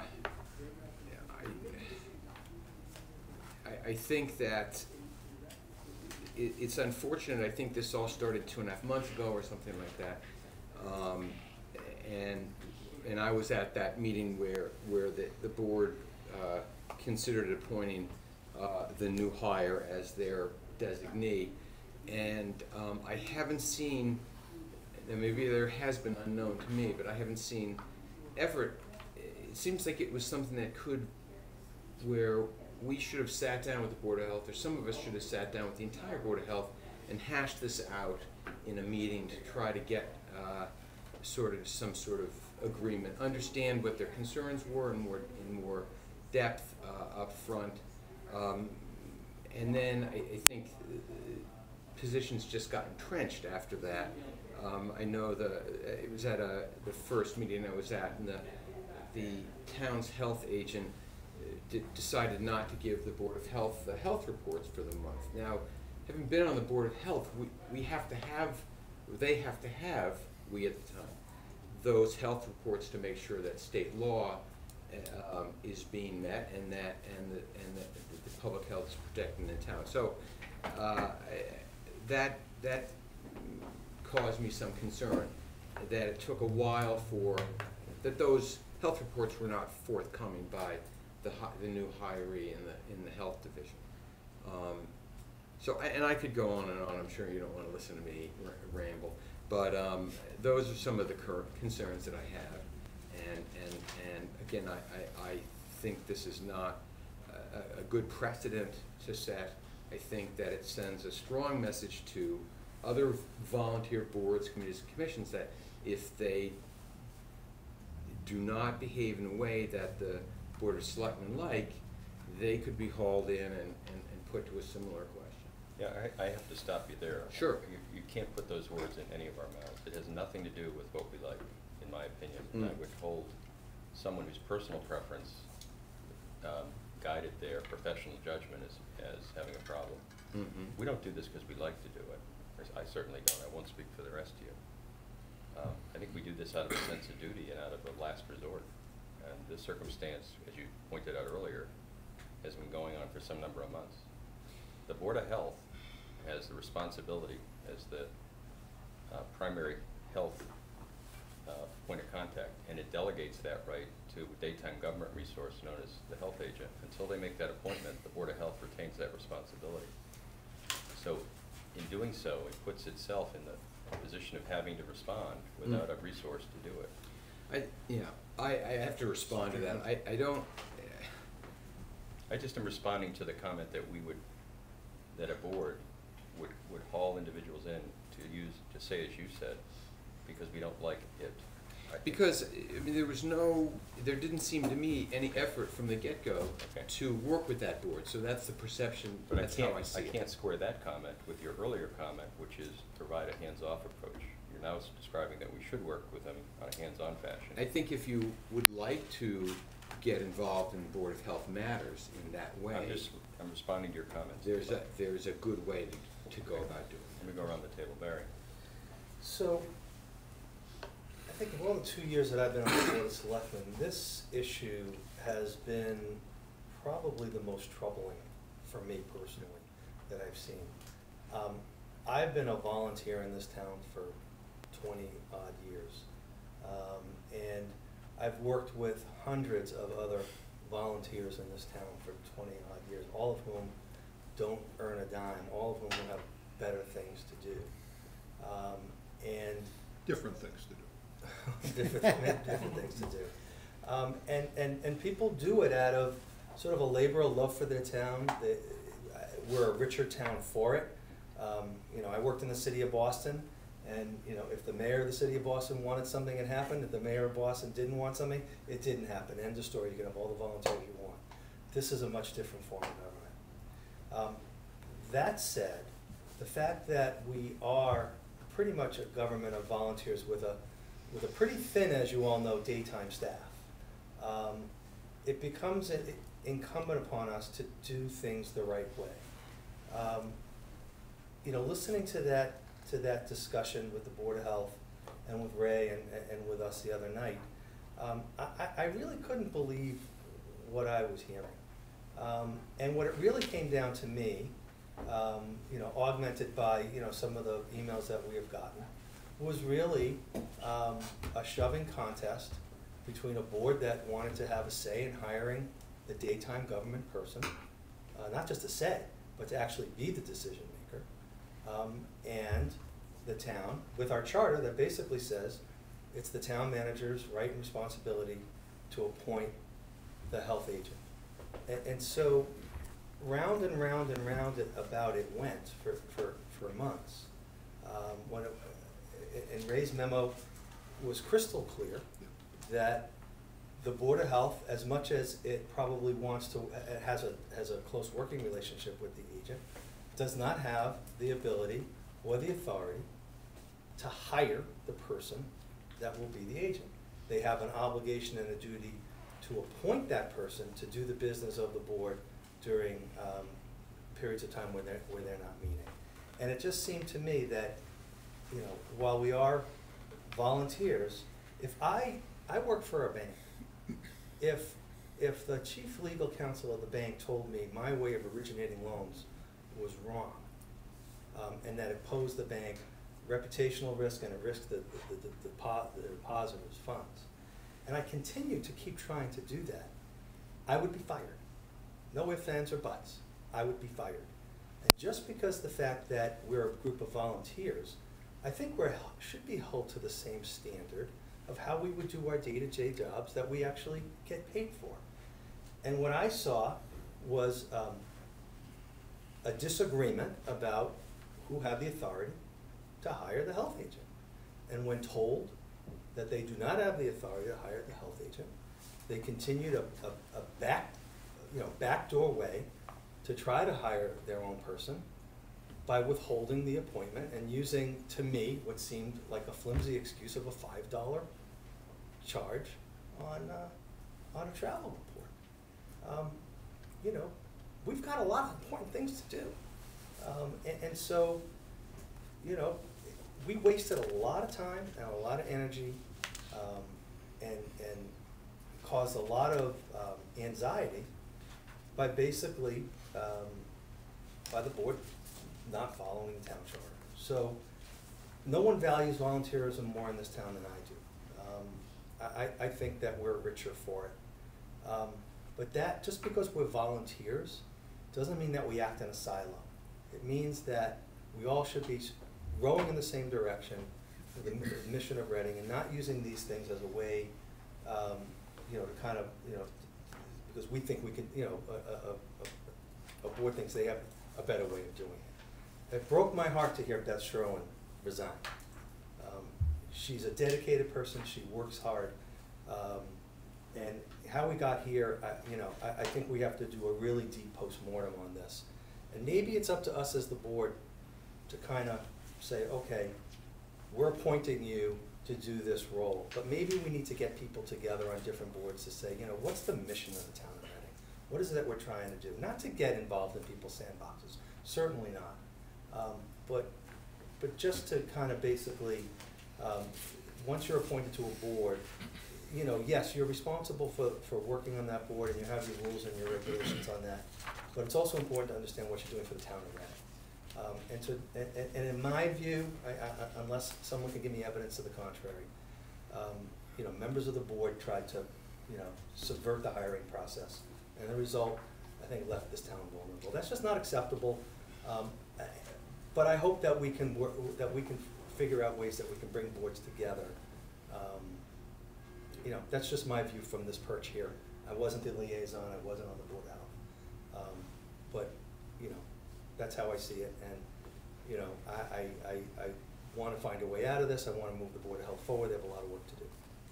Why did you say that they tried, hang on, they hang on. tried to change the Hang on, hang on, Eddie. process? Bob? Um, thank you. I just want to, you know what I'm about to say, but I want to make sure I say it publicly. Um, since I've been town manager, the, the hiring process for the Board of Health has been very inclusive, even though it's not required by the charter. I am the sole hirer by charter. When Andy was chair, we had a committee that hired, and you heard a little about that. What you may not know, and I normally wouldn't go here, is, um, when we had the prior hiring process, We hired Andy's top choice, we offered the job to Andy's top choice, not mine.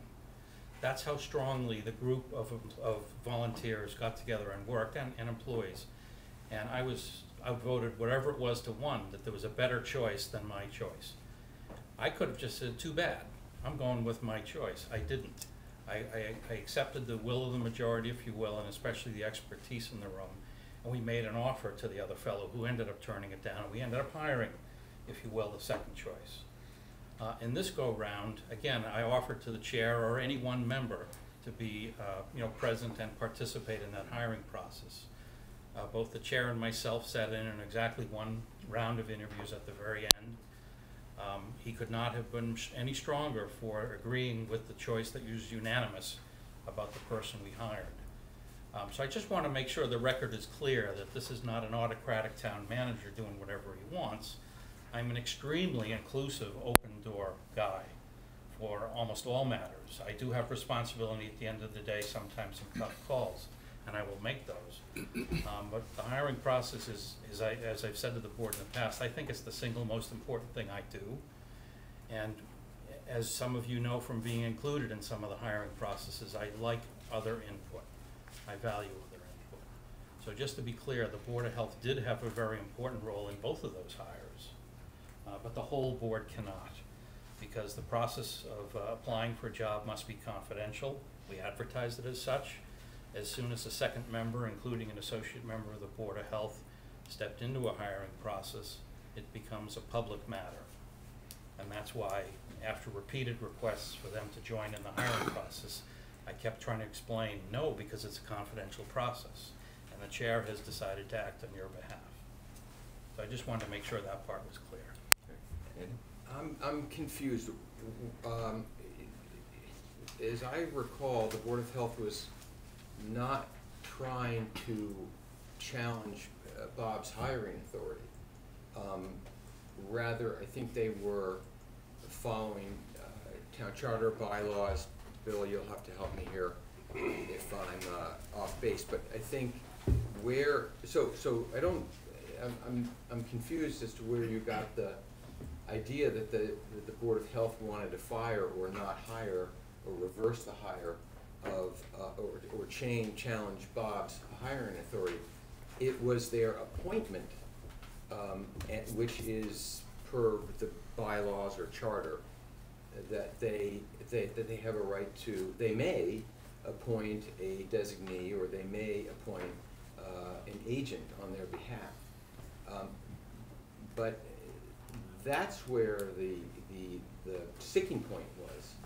Um, I don't think they were trying to take over the hiring process, I, at least I never heard that. Yeah, I, I think that's a symptom of a problem, not necessarily. I don't understand. problem. If you look at things sometimes as, um, inputs rather than outputs, it's not, a it's, it's an issue in its own right, but it's part of a larger, uh, pattern. You start to see, you start to see things differently. By the way, I mean, they ha, when they appoint, the Board of Health answers to the state law, and they, when they appoint somebody, they have to trust that person to represent them legally. But in this case, the town manager has the sole and exclusive prerogatives to hire. Sure. And they have a requirement to appoint. Not arguing. And They- that- I- that- Is there, I I don't, is there, I didn't, couldn't find a requirement to appoint in the town charter or bylaws. It's in Ray's No. letter. No, there They- isn't, there is isn't there a a legal requirement? requirement. Ray opined in his letter of July seventeenth that they ought to do the appointment. But are they required to? So the, the state law simply authorizes it, And so you, Yeah. you were looking in the wrong place if you were looking in the charter. it is and also- I- I- bylaws. yeah, I- I- You, you should have been looking in the Yeah, I- I- statute, I but, get 'em okay. all jumbled Okay. together. It authorizes the appointment to be made. Right. And the, the idea of this appointment is public health, unlike most other kinds of things that, that come up before the town, Mm-hmm. requires a, often requires some kind of an immediate response. Correct. And, um, uh, it's not always possible for the Board of Health to, um, exercise its power Mhm. As a board. uh, as a board Yeah. conveniently Yeah. or, you know, Yeah. quickly enough. Um, uh, that, you know, they have to find when people can meet and, Mhm. you know, they're volunteers, as you know, they work and whatever. So the law says, and this is unique for the health agent, the law says that all of the power of the Board of Health can be and can be delegated to an agent who can exercise it as if that agent were the Board of Health. Right, right. And um, so it's, uh, so it's a unique authority, but it's something that's, that's critical to the operation of, Yes. of the public health process. Yeah, You know, un- unless uh, the Board of Health is gonna sort of meet constantly to, uh, to address True. things. Yeah. So, it is, it is certainly not required that they, that they delegate that authority to anybody in particular. And they own it. But they, they either need to, if, if they're not going to delegate it to, uh, somebody, then you're left with the problem that there is no, nobody with the requisite authority to respond in certain circumstances. Right, yeah, and I, I understand that they were, del- they, they were delayed in appointing somebody because they wanted to work things out. That's at least what I picked up from the And- meeting. I wanna go around the table once, Okay. make sure Sure, we all, yeah. Dan? Um, I really want to say more than I probably can say here. Bob, can we say anything about the uh, HR study that examined leakage of information of the candidates? The only thing about HR that I feel that I can say, and, and Ray's not gonna like it either, but, um, just for clarification of everyone, we have two attorneys. We have an HR specialist, if you will, and we have town counsel. Um, on occasion, they're both on the phone with me. That's, that's pretty rare. Um, I feel comfortable enough, and I generally don't like to talk about HR because it's not public, but I will tell you and tell the public that the letter after the public health nurse resigned that she sent out did come into my uh, possession at some point, um, along with a request to have a legal review. Uh, That is HR, that is Labor Counsel, that is not Town Counsel. Labor Counsel told me that the town, that myself, had no standing with a former employee to question the former employee. Case closed. We could not do it. Just because she's a former. Because she's a former employee, we did not dismiss her, we did not terminate her, we did not leave with any bad sense. That if she wished to talk to any of us, of course, we were welcome to do it. But he said, under no circumstances should you or any employee of this town contact that employee to ask her questions. Including any member of any board? That's correct. Who are technically employees of That the is town. correct. So I, I don't like saying that in public, because it's an HR issue and it doesn't, it's not the business of the public. But in this instance, I feel obliged to say it. Yeah.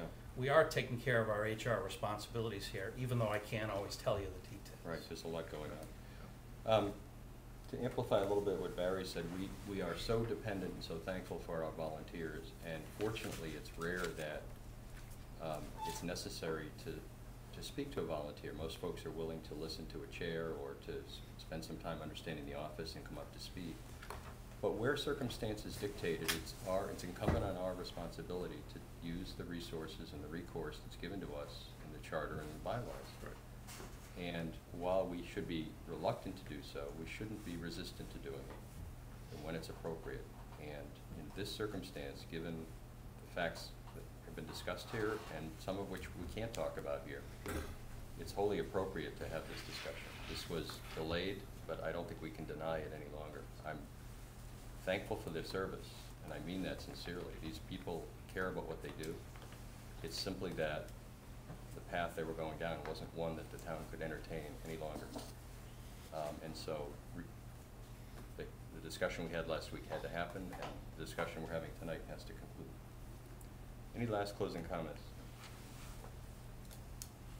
I have one. John? Um,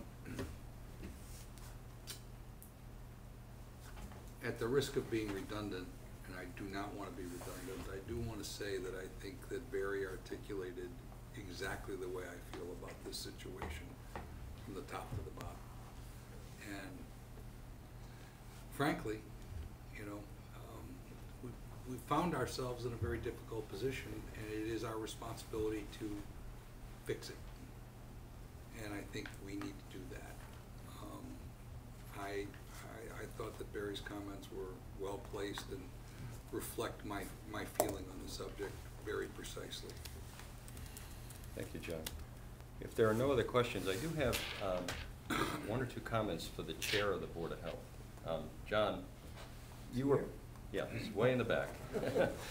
Um, You were party to the, to meetings where the health uh, agent candidates were uh, discussed. And as Ray mentioned, or I think Bob might have mentioned it, you were in, in favor of the ultimate decision.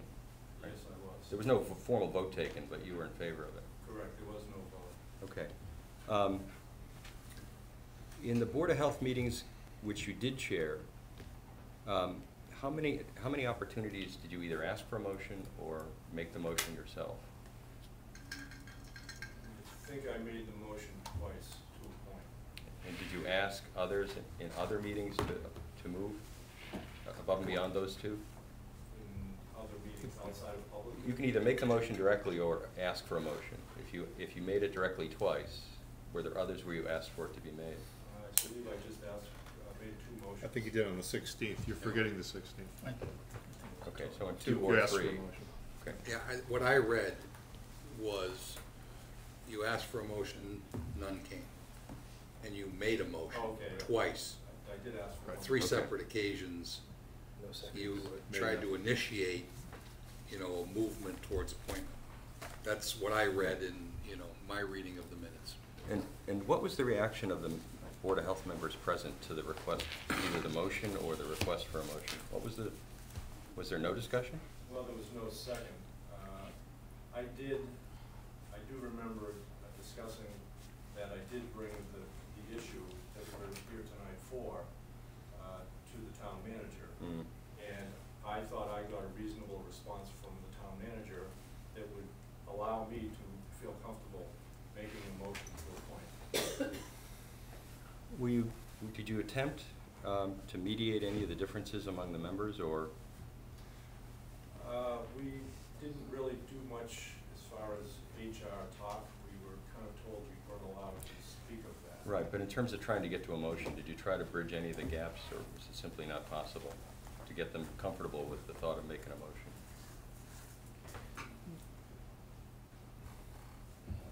Well, as I said, I, May- Maybe, it- keep in mind that the Board of Health is only three members. I understand. So the only communications that can During a meeting, exist right. between the members has to be at, at a meeting. Oh, So this unfortunately is, is a circumstance where the, where the open meeting law sometimes gets in the way of, you know, resolving Okay. issues I, like that. I did through, through June, Yeah.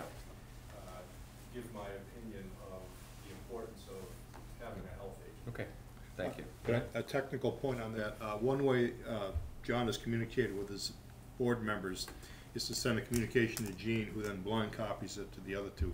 Does that constitute a deliberation or not, if the communication's only one way from him to them? If it's, You don't really want me to answer that question right I now, do know. you? If it's, is there any way that can be done without, Is that material to the, to the next? it depends on the subject matter. all right, Okay. If it's not that's an aside. meeting logistics, I guess I'd say. Yeah. Then you stray into dangerous territory. Yeah. Okay. That's all the questions I had. Any other comments or questions? If not, I'll, I'll move to a motion. Well, wh- you wanna talk about the procedure you've uh, thought through here? Yeah, so, um, the process here is we're, we're gonna make, uh, two motions following the resignation tonight, um, and ask the board to vote on the removal of the two remaining, um, Not the removal. Yeah. To, to, uh, I'm sorry, for a Begin the hearing. process. For a hearing, thank you, which to would actually, uh, no, issue a notice of issue a removal notice to of the hearing, town which we clerk. conduct on the twenty-sixth of August. Right. Thank you. Twenty-sixth Um, of September. September, you just said August. September twenty-sixth. September twenty-sixth. Time is flying. All right, uh, Mr. Chairman, may I offer both at once so they can both be discussed together? Sure. And then we'll Uh, take Actually, no, separate let's, votes? let's do them, se- let's do them separately. All right. Uh, Mr. Chairman, move to file a notice of removal with the Reading Town Clerk pursuant to section eight point one two point one point A of the Reading Home Rule Charter for the following individual holding the following office. John Costigan, Chair of the Board of Health. The reasons cited for the proposed removal are as follows. One, failure to act on the appointment of the health agent, Laura Vlasic, as the authorized agent of the Board of Health. Two, pursuing lines of questioning and taking individual actions and votes regarding Ms. Vlasic that have exceeded the Board of Health's lawful duties and powers under the Massachusetts general laws and the Reading Home Rule Charter and bylaws. Thank you, Dan. Do I have a second for the motion? So, um, I think we have to have a second so that we can have a discussion. correct. So I will second it so that we can have a discussion. Okay. We have a motion that's seconded. Any further discussion on the motion? Could, uh, you explain this, I, I think we've talked about the, the first one at, at length, and I, I understand when I'm outgunned, but on the second one, um, could you explain that uh, to me in more detail? There, uh, these motions have all been made at town counsel suggestion identically. Uh, I do not believe the second part applies to Mr. Costigan. And I do not believe he willfully failed to act, so, uh, this is more of a motion being made to dispense with the situation in terms of Mr. Costigan. I'm gonna vote against the motion, because I don't think either of these points was made. But it, it's, it's simply here a town counsel suggestion as a common format for each But to the answer the three. question directly, this is exceeding the authority that granted to the Board of Health. Is is the, is the reason given in number two. So if they don't apply to John, why are they here? You- I don't know what the will of the board is. We just had a, a If hearing. you don't believe they apply to John, vote against the Right. motion. Point of No, this is, but, but I- who, who, who made, who, who penned the motion? the request of the, the board, this board, was to understand what reasons would apply to removal of any or all of members of the Board of Health. Um, Working with town counsel, there are two obvious ones. One is the failure to act on the appointment, which is a de facto statement. And the second is uh, pursuing lines of questioning and exceeding authority, which we've heard tonight. Right. I, I just, this is the, I didn't know that we were pursuing the, we discussed them at a previous meeting and I was, not paying attention? I have no idea. If So- we discussed them at a previous meeting, this, these, these, these topics. But Not between our last meeting and tonight, no. So, Barry? can, this is a clarification question, so if we vote positively on this, this is just to have a hearing? Correct. When we Correct. voting this, we're not removing any No. individual. Correct. But you're issuing a notice of removal to the town clerk, which would be, have to be timely filed tomorrow to, to, to start a twenty-day clock that would, the earliest we could have the hearing would be the twenty-first then. Twenty-six. I'm sorry, twenty-sixth. At that point, i- in, in accordance with the bylaw, uh, the person for whom the notice was, uh, registered would be able to offer defense to these reasons. They could even bring counsel, they could bring witnesses, anything they want. So it's really, it's more of an indictment, think of it that way, than the trial. A motion for hearing. Yeah, motion for a hearing. So it's not, that- so it's not voting, to- No. it's basically to. And these motions are identical. Right. Sometimes grand juries vote no bills, meaning there's nothing here. So Any further discussion? So, when we come to a vote, are we talking about both motions? No, the other one hasn't been made yet, we're doing them individually. Okay, so this is I only made it for Costigan? It's tied to the chair. Yes. Correct. Okay. And uh, as a- is the prerogative of the chair, I'm going to ask for a roll call vote um, in terms of the, dis- your disposition on this question. Um, All those in favor of the motion? John, Halsey, We just state our preference, I guess. No. Dan Ensminger, No, Barry Berman, Yes. No. Andy, Andy Andy Friedman. Friedman, no. And John Arena is no. it's four to one, the motion So the motion fails to pass. Okay. Next. Mr. Chairman, I'm going to skip Elizabeth as she has resigned. Uh, Move to file a notice of removal with the Reading Town Clerk pursuant to section eight point twelve point one point A of the Reading Home Rule Charter for the following individual holding the following office. Nancy Doctor, Associate Member of the Board of Health. Reasons cited for the proposed removal are as follows. One, failure to act on the appointment of the health agent Laura Vlasic as the authorized agent of the Board of Health. Two, pursuing lines of questioning and taking individual actions and votes regarding Ms. Vlasic that have exceeded the Board of Health's lawful duties and powers under the Massachusetts general laws and the Reading Home Rule Charter and bylaws. Do I have a second? Second. I have a second. Any discussion on the motion? Seeing none, I'll ask for a roll call vote. John Halsey? Yes. Dan Ensminger? Yes. Barry Berman? Yes. Andy Friedman? No. And John Arena votes yes. So that's four one. Uh, the consequence of this is this, There's another motion at the end. Oh, yeah, I'll make that. thank you. Uh, Ray, do we need to make any motion about the timely posting, or is that just assumed to happen tomorrow? Because the twenty-sixth doesn't You work. don't need, you don't need to, Okay. uh, to make, include that in the motion. Thank you. I think, um, All right, I further move that the public hearing on such removals be held at the Board of Selectmen regular meeting of nine twenty-six, two thousand seventeen, and that the town clerk be directed to give notice of such hearing to Nancy Doctor not less than five days prior to the hearing in accordance with section eight point twelve point two of the Reading Home Rule Chart. Do I have a second? Second. I have a second. Any further discussion on the motion? just one point of clarification. Yes. Um, uh, you should be reminded that we count days fun, in a funny way under the charter. So the five-day notice means five days that town hall is open, Hmm. okay? But the twenty is calendar days? Twenty is calendar days. Okay, that's right, it's So- less than ten.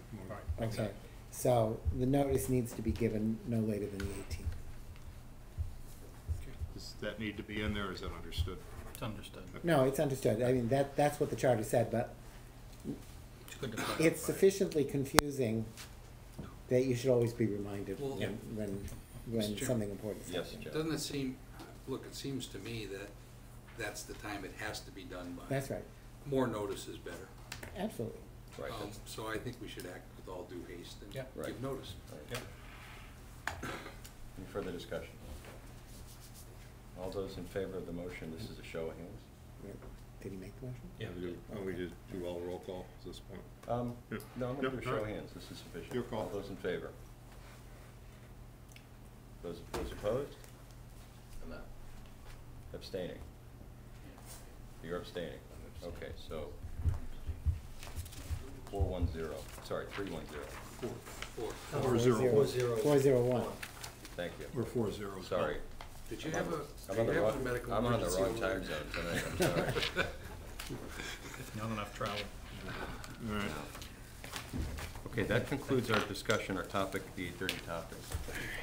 Um, We're about five minutes ahead for our uh, next topic. If you want, we can go to approval of the minutes. Sure. Sharon, move to uh, approve the minutes of July twenty-fifth, two Thank you, Ray. seventeen, as amended. Yes, thank you, Rick. Do I have a second? I'll second the motion. Okay, any further discussion on the minutes of July twenty-fifth? I'll ask for it, yes. Hearing none. All those in favor of the, of the minutes of July twenty-fifth, two thousand seventeen? Raise your hand. I wasn't there after the same. Okay, so we are four zero one. Yep. No, No corrections, thank you. you're home free. Um, Technically could start early, it's not a public hearing, but if you you can wait. Um, I can't, it's unusual for folks to show up Yeah, at nine that's true. thirty for Could be other people. any portion of this meeting, so. Yeah. Um, Five minutes. Do you wanna bring up the slides you had in the packet on the Yeah, that's screen? what I, exactly what I'm looking for. I think it's on, uh, five D one. Past, past all the his- historic stuff. Oh, must be getting close. Where are we in the train depot? Oh, it's an earlier version. Yeah. Here we go. Oh, come on. It's back. They owe this to you. Ah, here we go.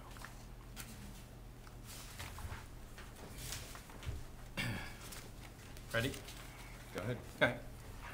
Um, Just to be clear, um, I- if the board wishes to change the current practice, I would strongly advise having a public hearing, advertising it, notifying people, and doing that as quickly as possible, but it's not the objective tonight for you to change um, what the current practice is, just to indicate your interest in, in change and setting that as a future agenda.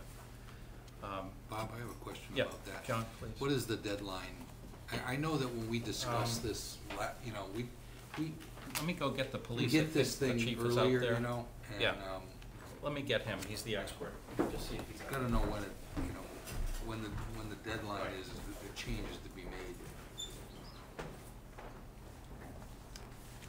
I didn't see this page in our package. It's in tonight's packet. What's the page number? Starts on It's in the, it's in the Thursday, forty-two. Okay, it's in the Thursday packet. Okay. No, this, it's in No. tonight's too. Okay, thank you. What page, Cameron, sorry? Forty-two. It's forty-two. John, if you wouldn't mind restating that question? Yeah, I was wondering what the, what the deadline was for, i- if a change in these fees was to happen, what would the deadline be for us to, to do that? Because I know last year when we discussed this as a possibility, we had actually passed the deadline, so. Yeah, and just to be clear, um, if you don't mind, Mr. Chair, the price is not on the sticker.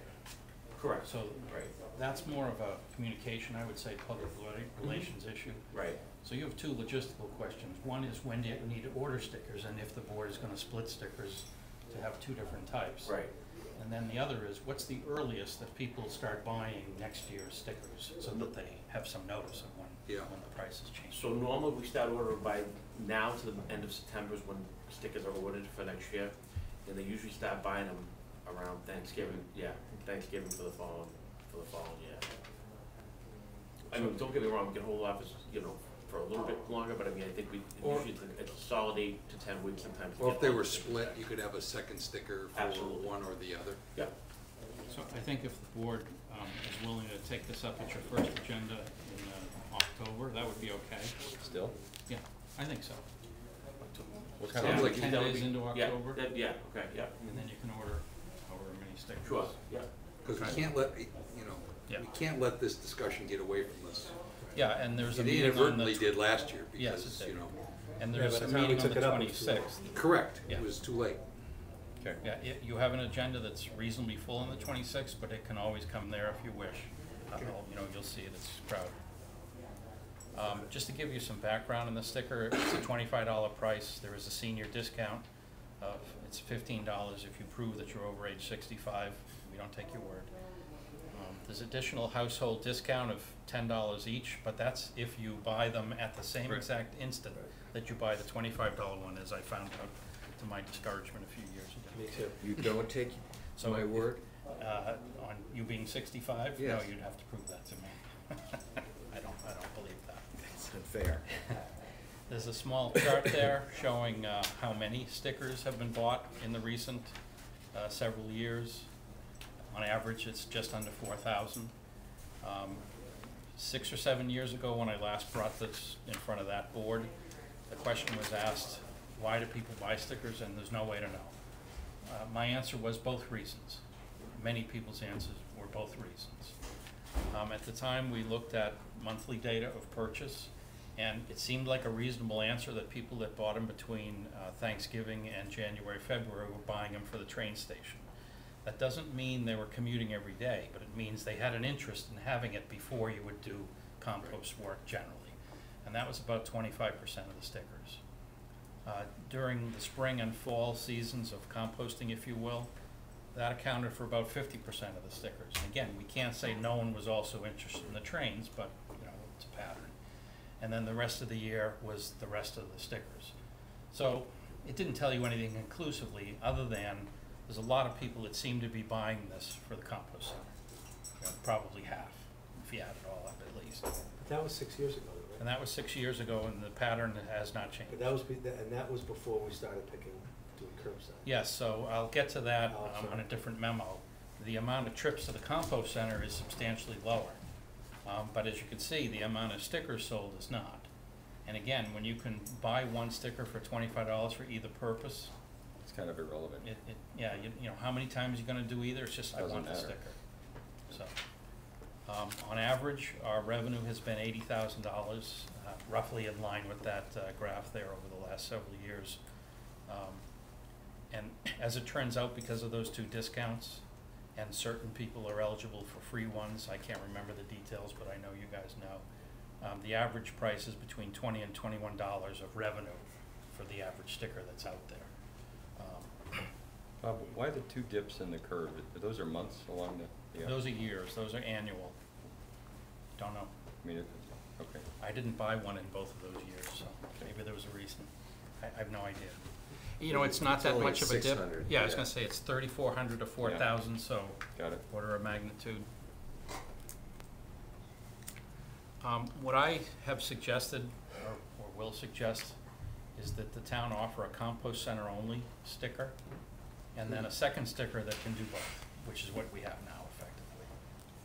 Um, you know, following up on the earlier discussion from Mr. Brown about, uh, you can only charge what it costs, I obviously agree with. Um, we spend about seventy thousand dollars a year to run the compost center, and that's hard costs that I can show you. Most of them are wages, some of them are tax workers, and some of them are expenses. Um, if you went to a twenty dollar compost-only sticker as an example, um, that would probably yield at least fifty thousand dollars of revenue. And I, I at least would be comfortable that that's covering our cost or close enough. Um, on the high end, I think you could go to thirty thousand dollars, and we could argue that somewhere between twenty and thirty, it's covering the $30. cost. Thirty dollars. I'm sorry, thirty dollars per Yep. sticker. So currently it's twenty-five, it's right in the ballpark of what it costs to run the compost center purely. Um, it's a lot harder for me to give you that kind of guess on the depot. So Bob, why wouldn't you leave it at twenty-five for compost only? Because You it can. sounds like that, you know, it sounds Absolutely like that's can. very close. Yep. If you had a sit, and the reality is that, you know, you may not sell as many compost stickers because you're not combining them anymore.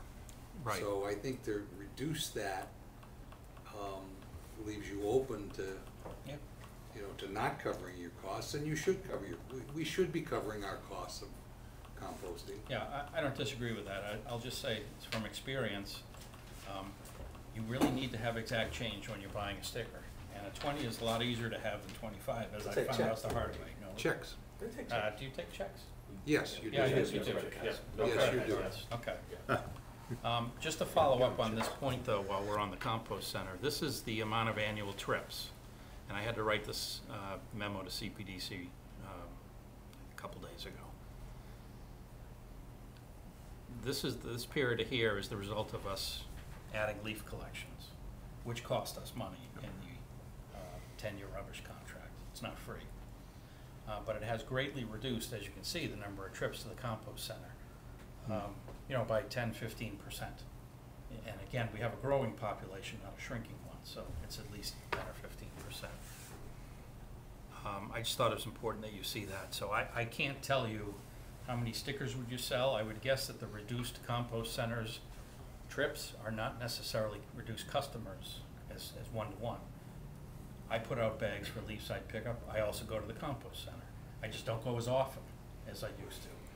Is anyone not going at all? Probably some, but probably not as many as do what I do, which is both. You're leaving out the social aspects of the compost. Yes. Come on. Yes, I am. And- and the Oh, jo- There's a lot going on over there. The joy of being in the mud. And, and who has gotten all their leaves up really in time for the collection? Yeah, well, there is that too. Plus you gotta leave it open for a month. Anyway.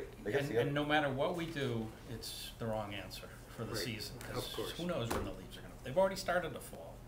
It's, it's summer. Um, So again, tonight's, tonight's meeting is merely to gauge the board's interest in doing a split and um, the discussion, the heavy discussion to become at a later date.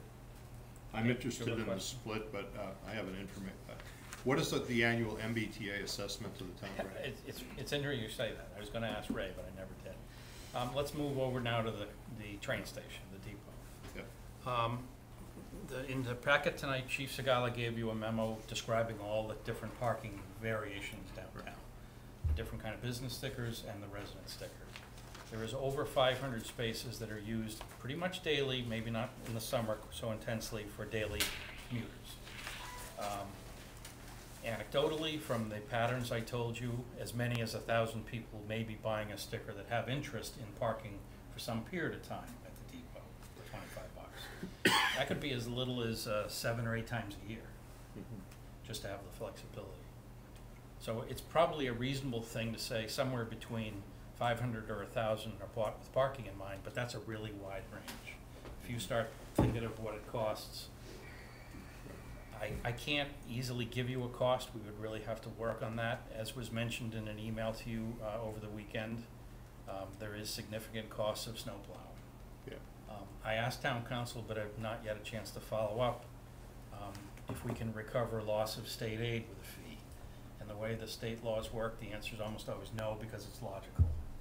Um, Because we have a train station, we are docked somewhere between five and six hundred thousand dollars of state aid directly. It's right on the cherry sheet, you can't miss it.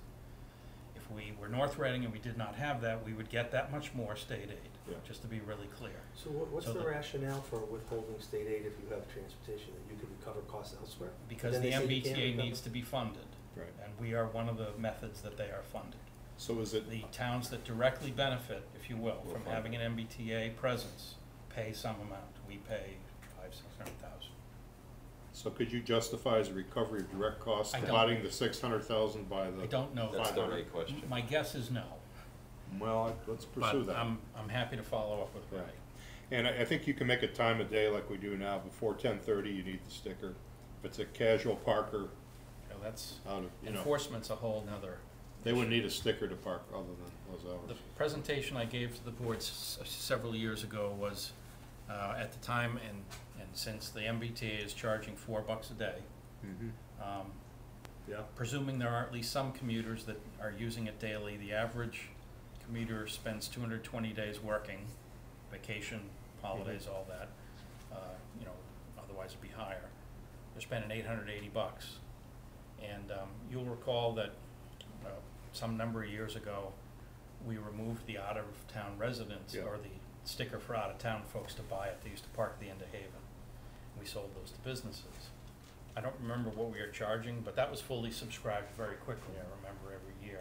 And I personally know some folks that lived in North Reading that were always thrilled to come down and do that, and they were, they're now coming and paying four bucks a day, or they're going over to Woburn. But the MB MBTA lot is not fully subscribed, it's Um, relatively. I would say now it's It's pretty pretty close. full. Yeah, it's pretty busy, yeah, at least in the last and year there's and a been half. no challenge to that fee as being unrealistic or The not? four dollar, Yeah. set by the state, who's gonna? ch- Well, let's Yeah, not- yeah, but, but the point I'm making is, with, with, if we set something like four dollars a day, are, are we within our same rights or not? I don't, I don't That's for another day. know.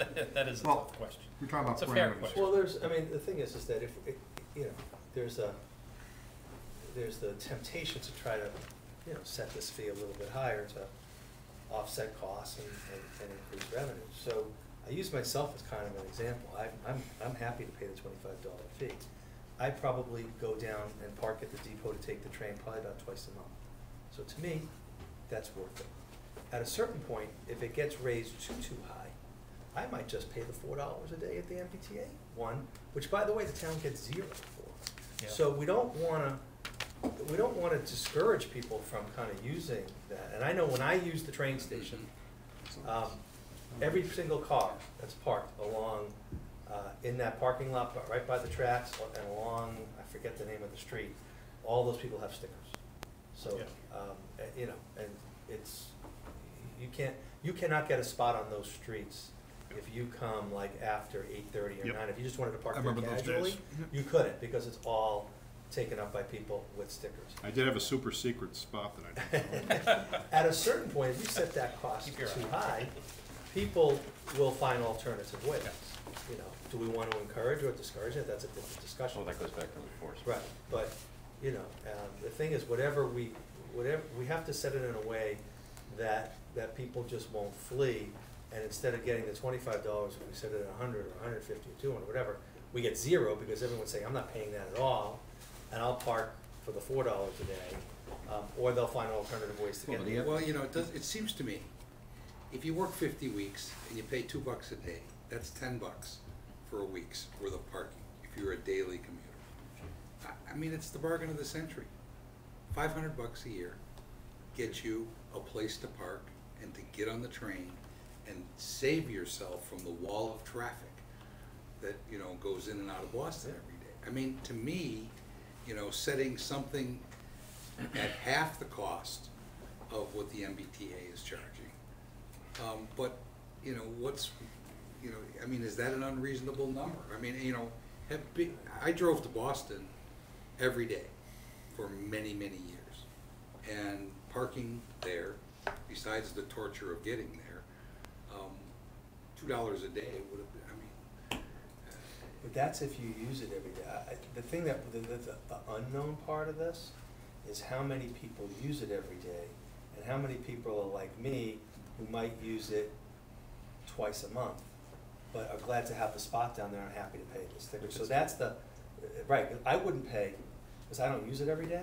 You wouldn't I pay $500 a 500 year. bucks. I understand I that. would pay, ze- I would pay zero and figure out, I, I drive, and I just drive it. and what would we lose? You you lose my What would the 25 town lose? My twenty-five dollars. Do you go to the compost? Yeah, but you know what the offset is? You're going to the compost, aren't you? No, not anymore. Okay. Bring it back to something that John. People you take said- it. Yeah, Well, as long as you're hiring a Reading landscaper, that's fine.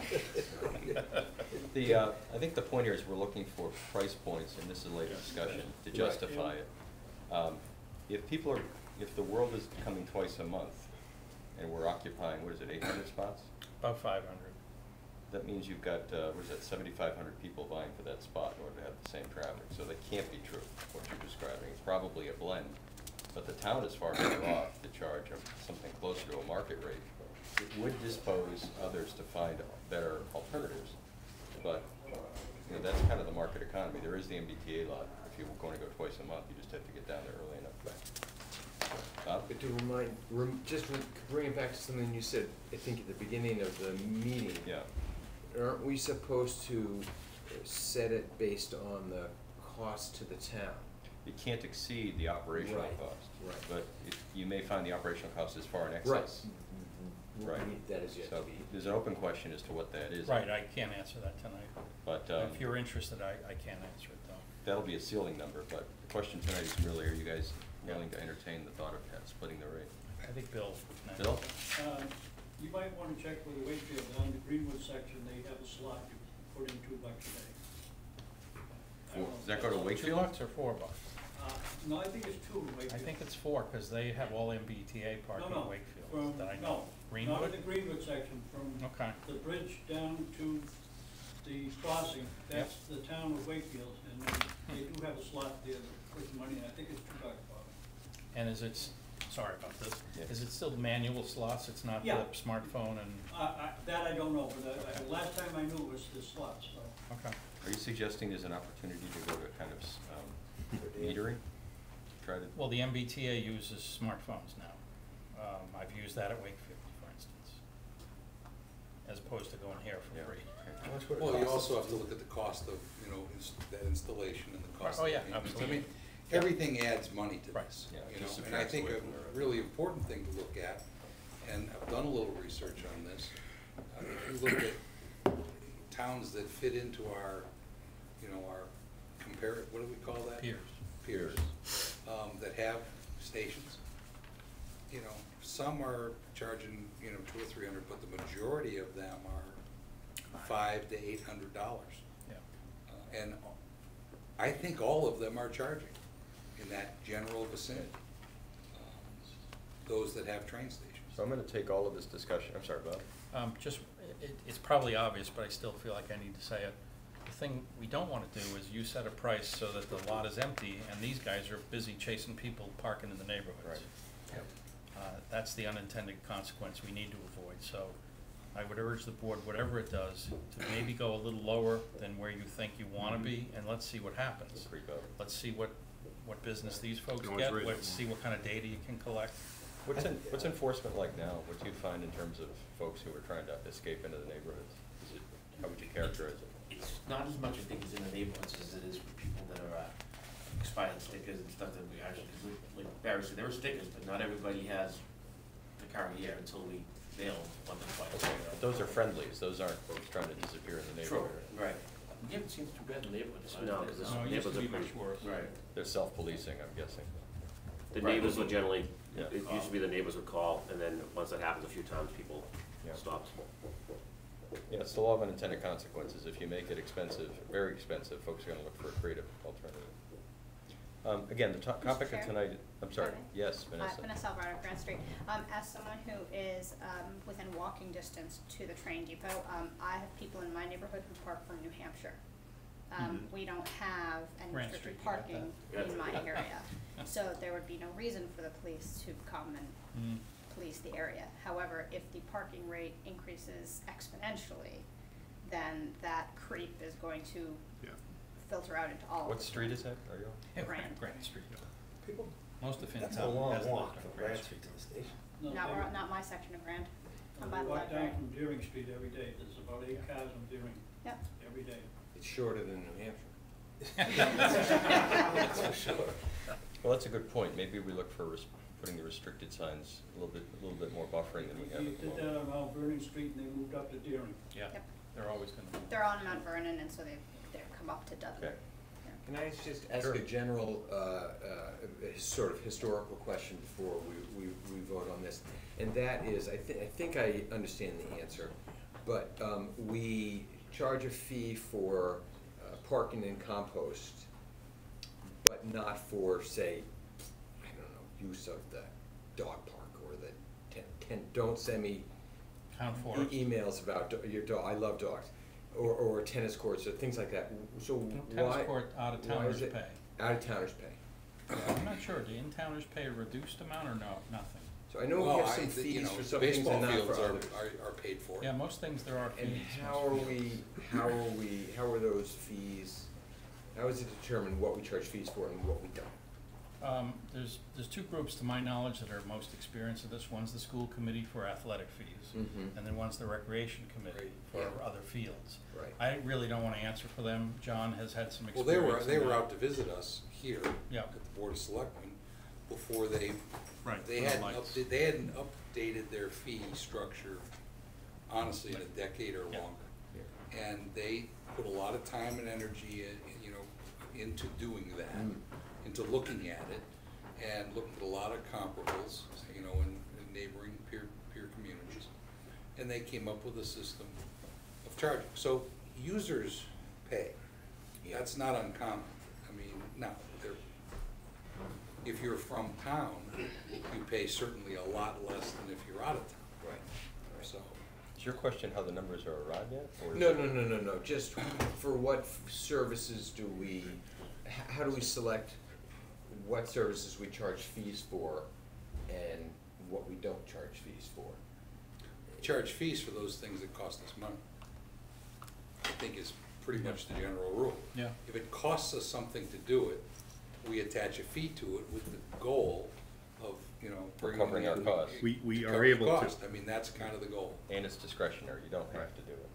We don't do it for everything. Chief, how many, how many spots are in the, the actual, em- the lot, our lot? Stay right here.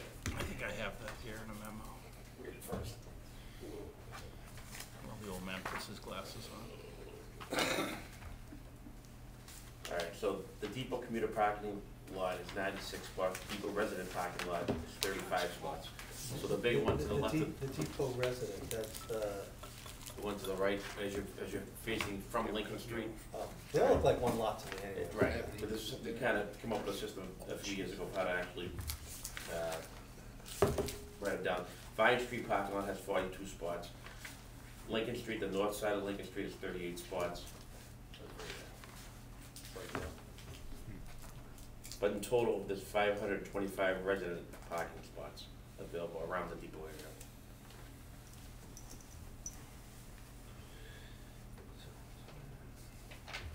Okay. Um, So if, if the board is interested in splitting it, or at least continuing discussion, um, you know, please ask questions. What other information do you need? I'll try to get some estimate of what it costs to maintain the parking down there, you know, snow plowing and enforcement. And I'll ask the question about loss of state aid, I don't think so. Um, And I, I don't know how other towns justify higher fees. Um, From experience, maybe they didn't do careful accounting, tend to. They did it more on market supply and demand, and that's a natural instinct Yeah, right. for, for a private sector person on a volunteer board to do, is what does everyone else charge, what is the market? Yeah, what's We the can market charge demand? this. Yeah. And, you know, yeah, that's okay as a first blush, but then you also have to say, can we justify this? Uh, you know, in your chairs today, uh, the auditors were in, and I would have to justify the fee, perhaps, to the auditors. I mean, people who are here are paying taxes for other things, shouldn't be expected to pay the same thing, uh, you know, uh, as a, uh, a non-resident who pays the four dollars a day at the MBTA run, I mean, they're already Right. taxpayers here. You're right. So, That's the flip side to the coin. Although this is discretionary, we're all paying taxes, I don't park at the depot. right, so in a lot of ways, though, you're subsidizing the people who use it when it's only twenty-five dollars. Correct, so the real question So- is to put the fee on on those who use it rather than peanut buttering it everywhere. And, and John, there, there, I think, Bob, to your question, which I, I took as a question, Mhm. if, we're- if there's an appetite to split, I personally have an appetite to split these two things. Okay. Uh, you know, in my opinion, a twenty-five dollar compost sticker is a bargain, you know, I mean, and, and it, and as it coincidentally turns out, a twenty-five dollar sticker, if we, for compost, kinda covers the cost, or Yeah. pretty close, give or take. You're gonna sell probably a few less stickers, okay? Right. Um, and, you know, that, based on the numbers you gave us earlier, um, it kind of is, is a wash, which is what it should be, because when you think about residential protection, and even commercial protection for that matter, on their real estate taxes, we take their money and we're spending it on maintaining the compost. And we're spending it on, you know, maintaining the parking lot and the snow removal. So I think the same thing, you, you've given us a pretty good approximation of what it costs to run the compost.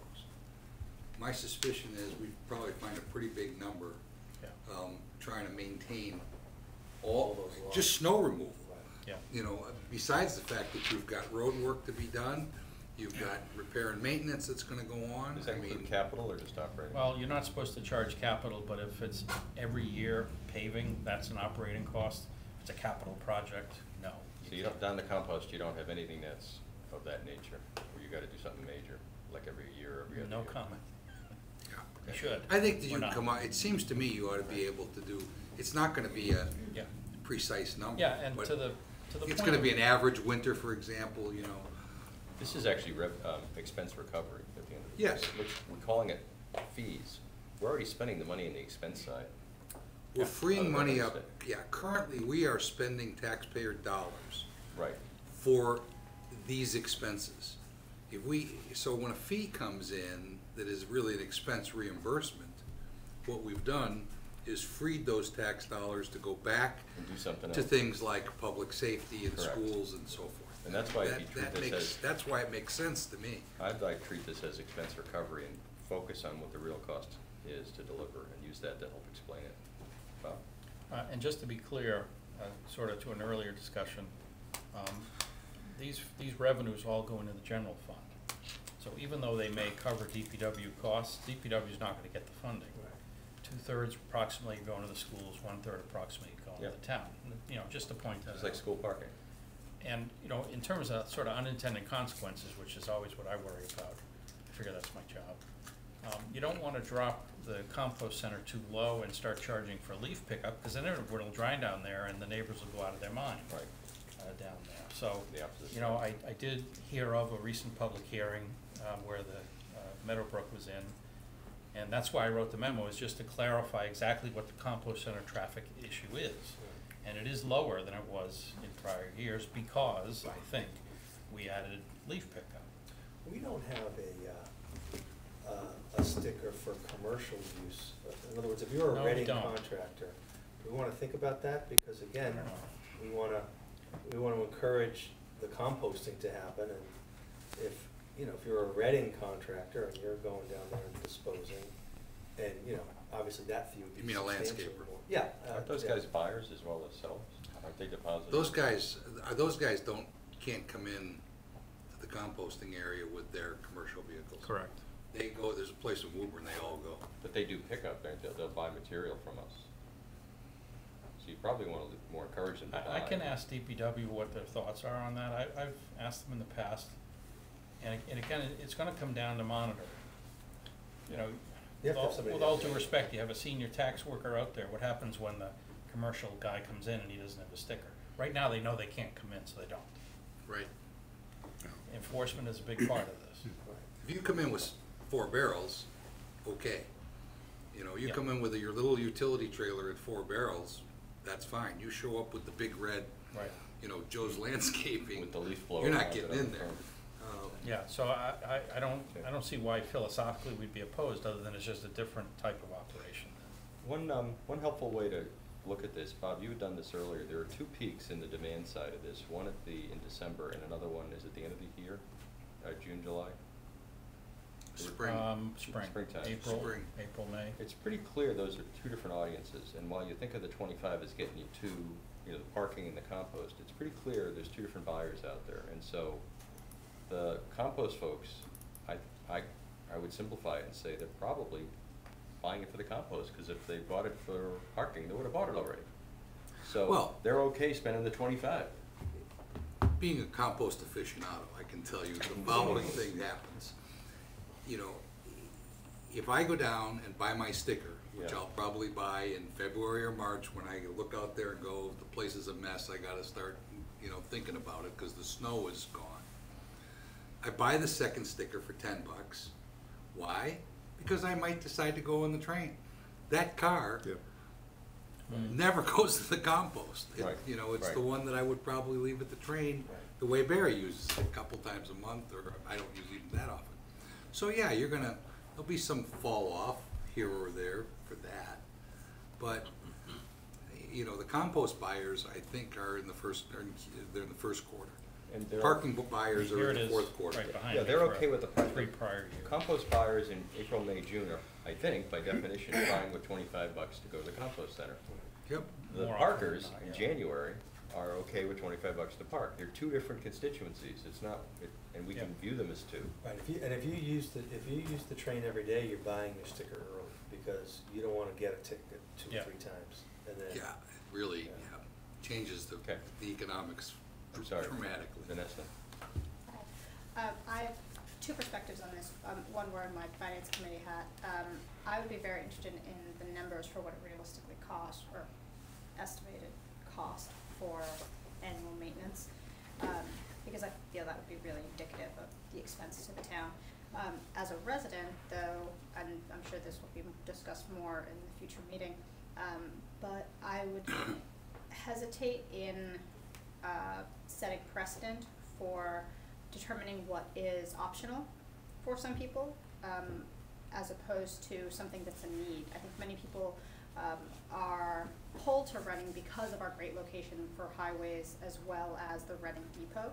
So if the parking ticket becomes fair game, then what perceived optional service that the town offers could next be eligible for increased fees. Uh, so I, that would only be my comment to the board, um, because perhaps this board thinks that's an optional fee, but perhaps next year, or however many years down the line, another board thinks that some other service that the town currently covers is now optional, and therefore they're going to increase the fees on that. Okay. Any other comments? Can I make a comment on that? Sure. As a Reading resident, my brother uses the, um, the Reading parking, and it's always surprising to me that, uh, he, the way that he expresses himself is, he parks there because it's convenient. And, uh, when it comes to the expensive side, during like snow, it's always more difficult to clean those parking spots that are closer to the train than are far, further away from the train. So they might give you an idea to have an approach of dividing sections. And the closer you are to the train, that parking uh, sticker might be a little more expensive than the further away you are from it. So that way, you, people will pay for convenience. So that, and the other thing is that you're not charging everybody forty bucks, but someone that wants to park closer to the train and goes there faster is willing to pay forty bucks. So it's like the airline model. You The can be chief an will hang economy. himself in enforcement. Different colored stickers. Or maybe we just put, we put those boxes just in the lot. We have to hire four more Correct, cops. What all is it? Because it costs more money to Pay what clean those think it's spots. worth. It, it's a perfectly reasonable conclusion. I, I think the laughter is a little bit over the enforcement side. It's almost like you're not in first class, business class, economy preferred and economy, and everyone's got a different color. Um, But I, I get the thought, it's, it's market-based pricing. Um, I'll also horrify you with this comment that strictly speaking from an economic development perspective, parking should not be wasted on commuters, downtown parking.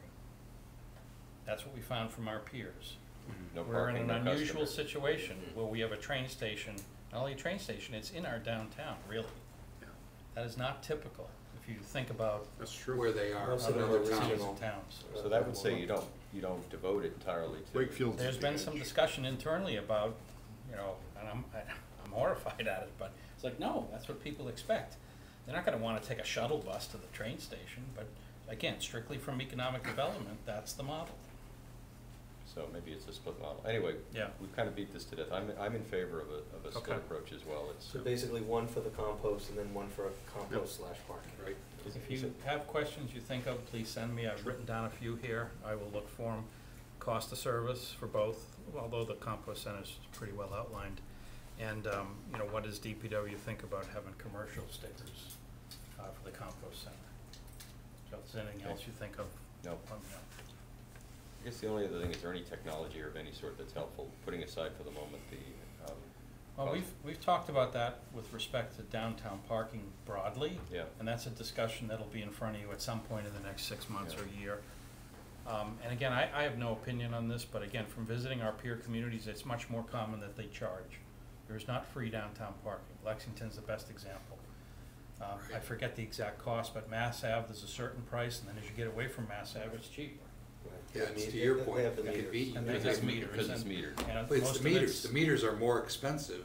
They have in meters, downtown but it's Lexington. also, Well, that's kind of the thought. If you had, if you went to per day everywhere and you had a, a nickel rate and, I'm making this up, a dime Yeah. rate and a dollar rate, you could do what's described here pretty easily if everyone did it electronically. yeah, I mean, I, personally, I'm horrified at the idea of parking meters all over town visually. Just no.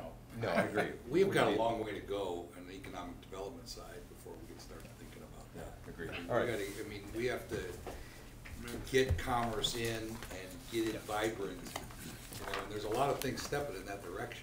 Yeah. before we can- I think that's a, dis- this piece of the discussion, I think, is for, you know, a future time. Okay. Okay, if there's no other comments, why don't we move our last topic tonight, which is the uh, demand fees review. Thank you, guys. Yeah. Thank you. Thank you. Always a pleasure to have the police at a public meeting.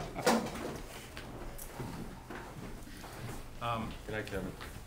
Like, This, um, this chart, when I first star, saw it, I had to ask the finance department to do it again, because I knew it was wrong, but it wasn't wrong. It was right. I was, I was, I'm still shocked what it says. Um, this is the last three years, and what we've collected in demand fees, which again are twenty-five dollars per tax bill per bill, I'll say. Um, That's for being late. for being late, for having a late payment, not just from the date, but a certain amount of leniency after the date. Um, we collect five, six thousand dollars on real estate tax bills that are late. Uh, we collect a thousand dollars for personal property, and we collect fifty-five thousand for cars, for excise tax. Is there a reason cars are And those are more- separate from, like, the water thing. Yes, Why are cars more prone, just more of them? because people have mortgages and banks pay the mortgage for them and Yes. don't pay late. And Right. people are They actually always- banks responsible pay for on their own time. excise tax bills, and this is what people tend to do. So on average, two thousand tax bills a year are paid late, uh, excise tax bills, which just totally seemed unrealistic to me.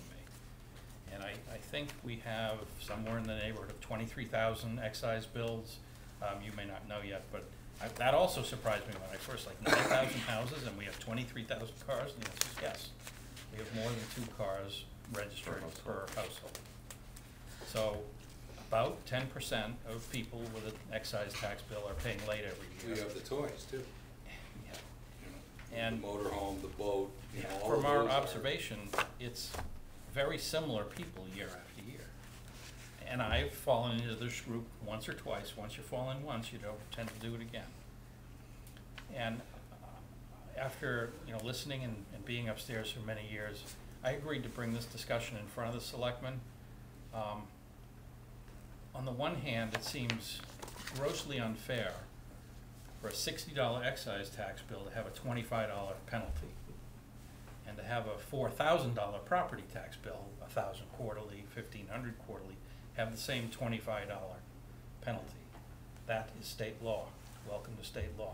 That is Oh, so not we something couldn't- Reading can do anything about. You can't do it as a percentage No. of the bill. It's Nope. one for everything, One number. Twenty-five bucks, one price covers all late bills. one ring to rule. Exactly. Yeah, Do exactly. you have any discretion over whether you That, that's, issue it or not? that's the next topic. So I agreed to bring this discussion because the excise ratio just seems silly. And many people who are late have relatively small excise tax bills. Um, you know, as soon as your car depreciates past five I or know. six years, your excise tax bill's a hundred bucks or two hundred bucks. So It's twenty-five dollar forty, late. forty-seven fifty eventually. Yeah, yeah. Um, we did a survey of our peers as best we could, and twenty-five is high. There are a couple that are higher, thirty, and just so you're, those that don't know on the board, it's been twenty-five dollars for, a- for quite a while. Um, I'm gonna say eight or nine years, I'm not sure. It was, it was a long time ago that this was run in front of town meeting for whatever the reason. So, Um, a really important number is fifteen dollars. If you are above fifteen dollars a year for demand fees, this guy has no legal authority to waive it. It must be collected. I have bent those rules and risked imprisonment just for one type of exception. Because it always seemed to me that someone who was hospitalized and physically unable to pay the bill should be allowed some leniency. So when I was upstairs, I did that a handful of times. But if the person who was hospitalized typically paid, typically paid the bill, and the spouse who did not was able to but didn't know how, oh well, that's not a good exception. If the person f- literally cannot pay the bill because they're in the hospital, that seemed like a good reason to me. And I was technically violating state law for that, but that was okay. If we lower it, or, and this would have to go to town meeting, if it was reduced to fifteen dollars, um, then every single person can complain to the treasurer and say, I was in the hospital. I, well, whatever, they, they can have any reason at all, and there's lots of pretty good reasons, you know. So, know, we have to weigh operationally, it's similar to the last discussion, what's the cost of collection? What's the cost of, you know, keeping your eye on the depot, keeping your eye on the compost center? Um, if everyone can contest a fifteen dollar late fee, I would suggest that rationally everyone should, and rationally, uh, we're collecting, you know, seventy thousand dollars from this now, uh, put, to- put all together, and this again is a partial year, I would say you should assume you're gonna lose all or most of that money.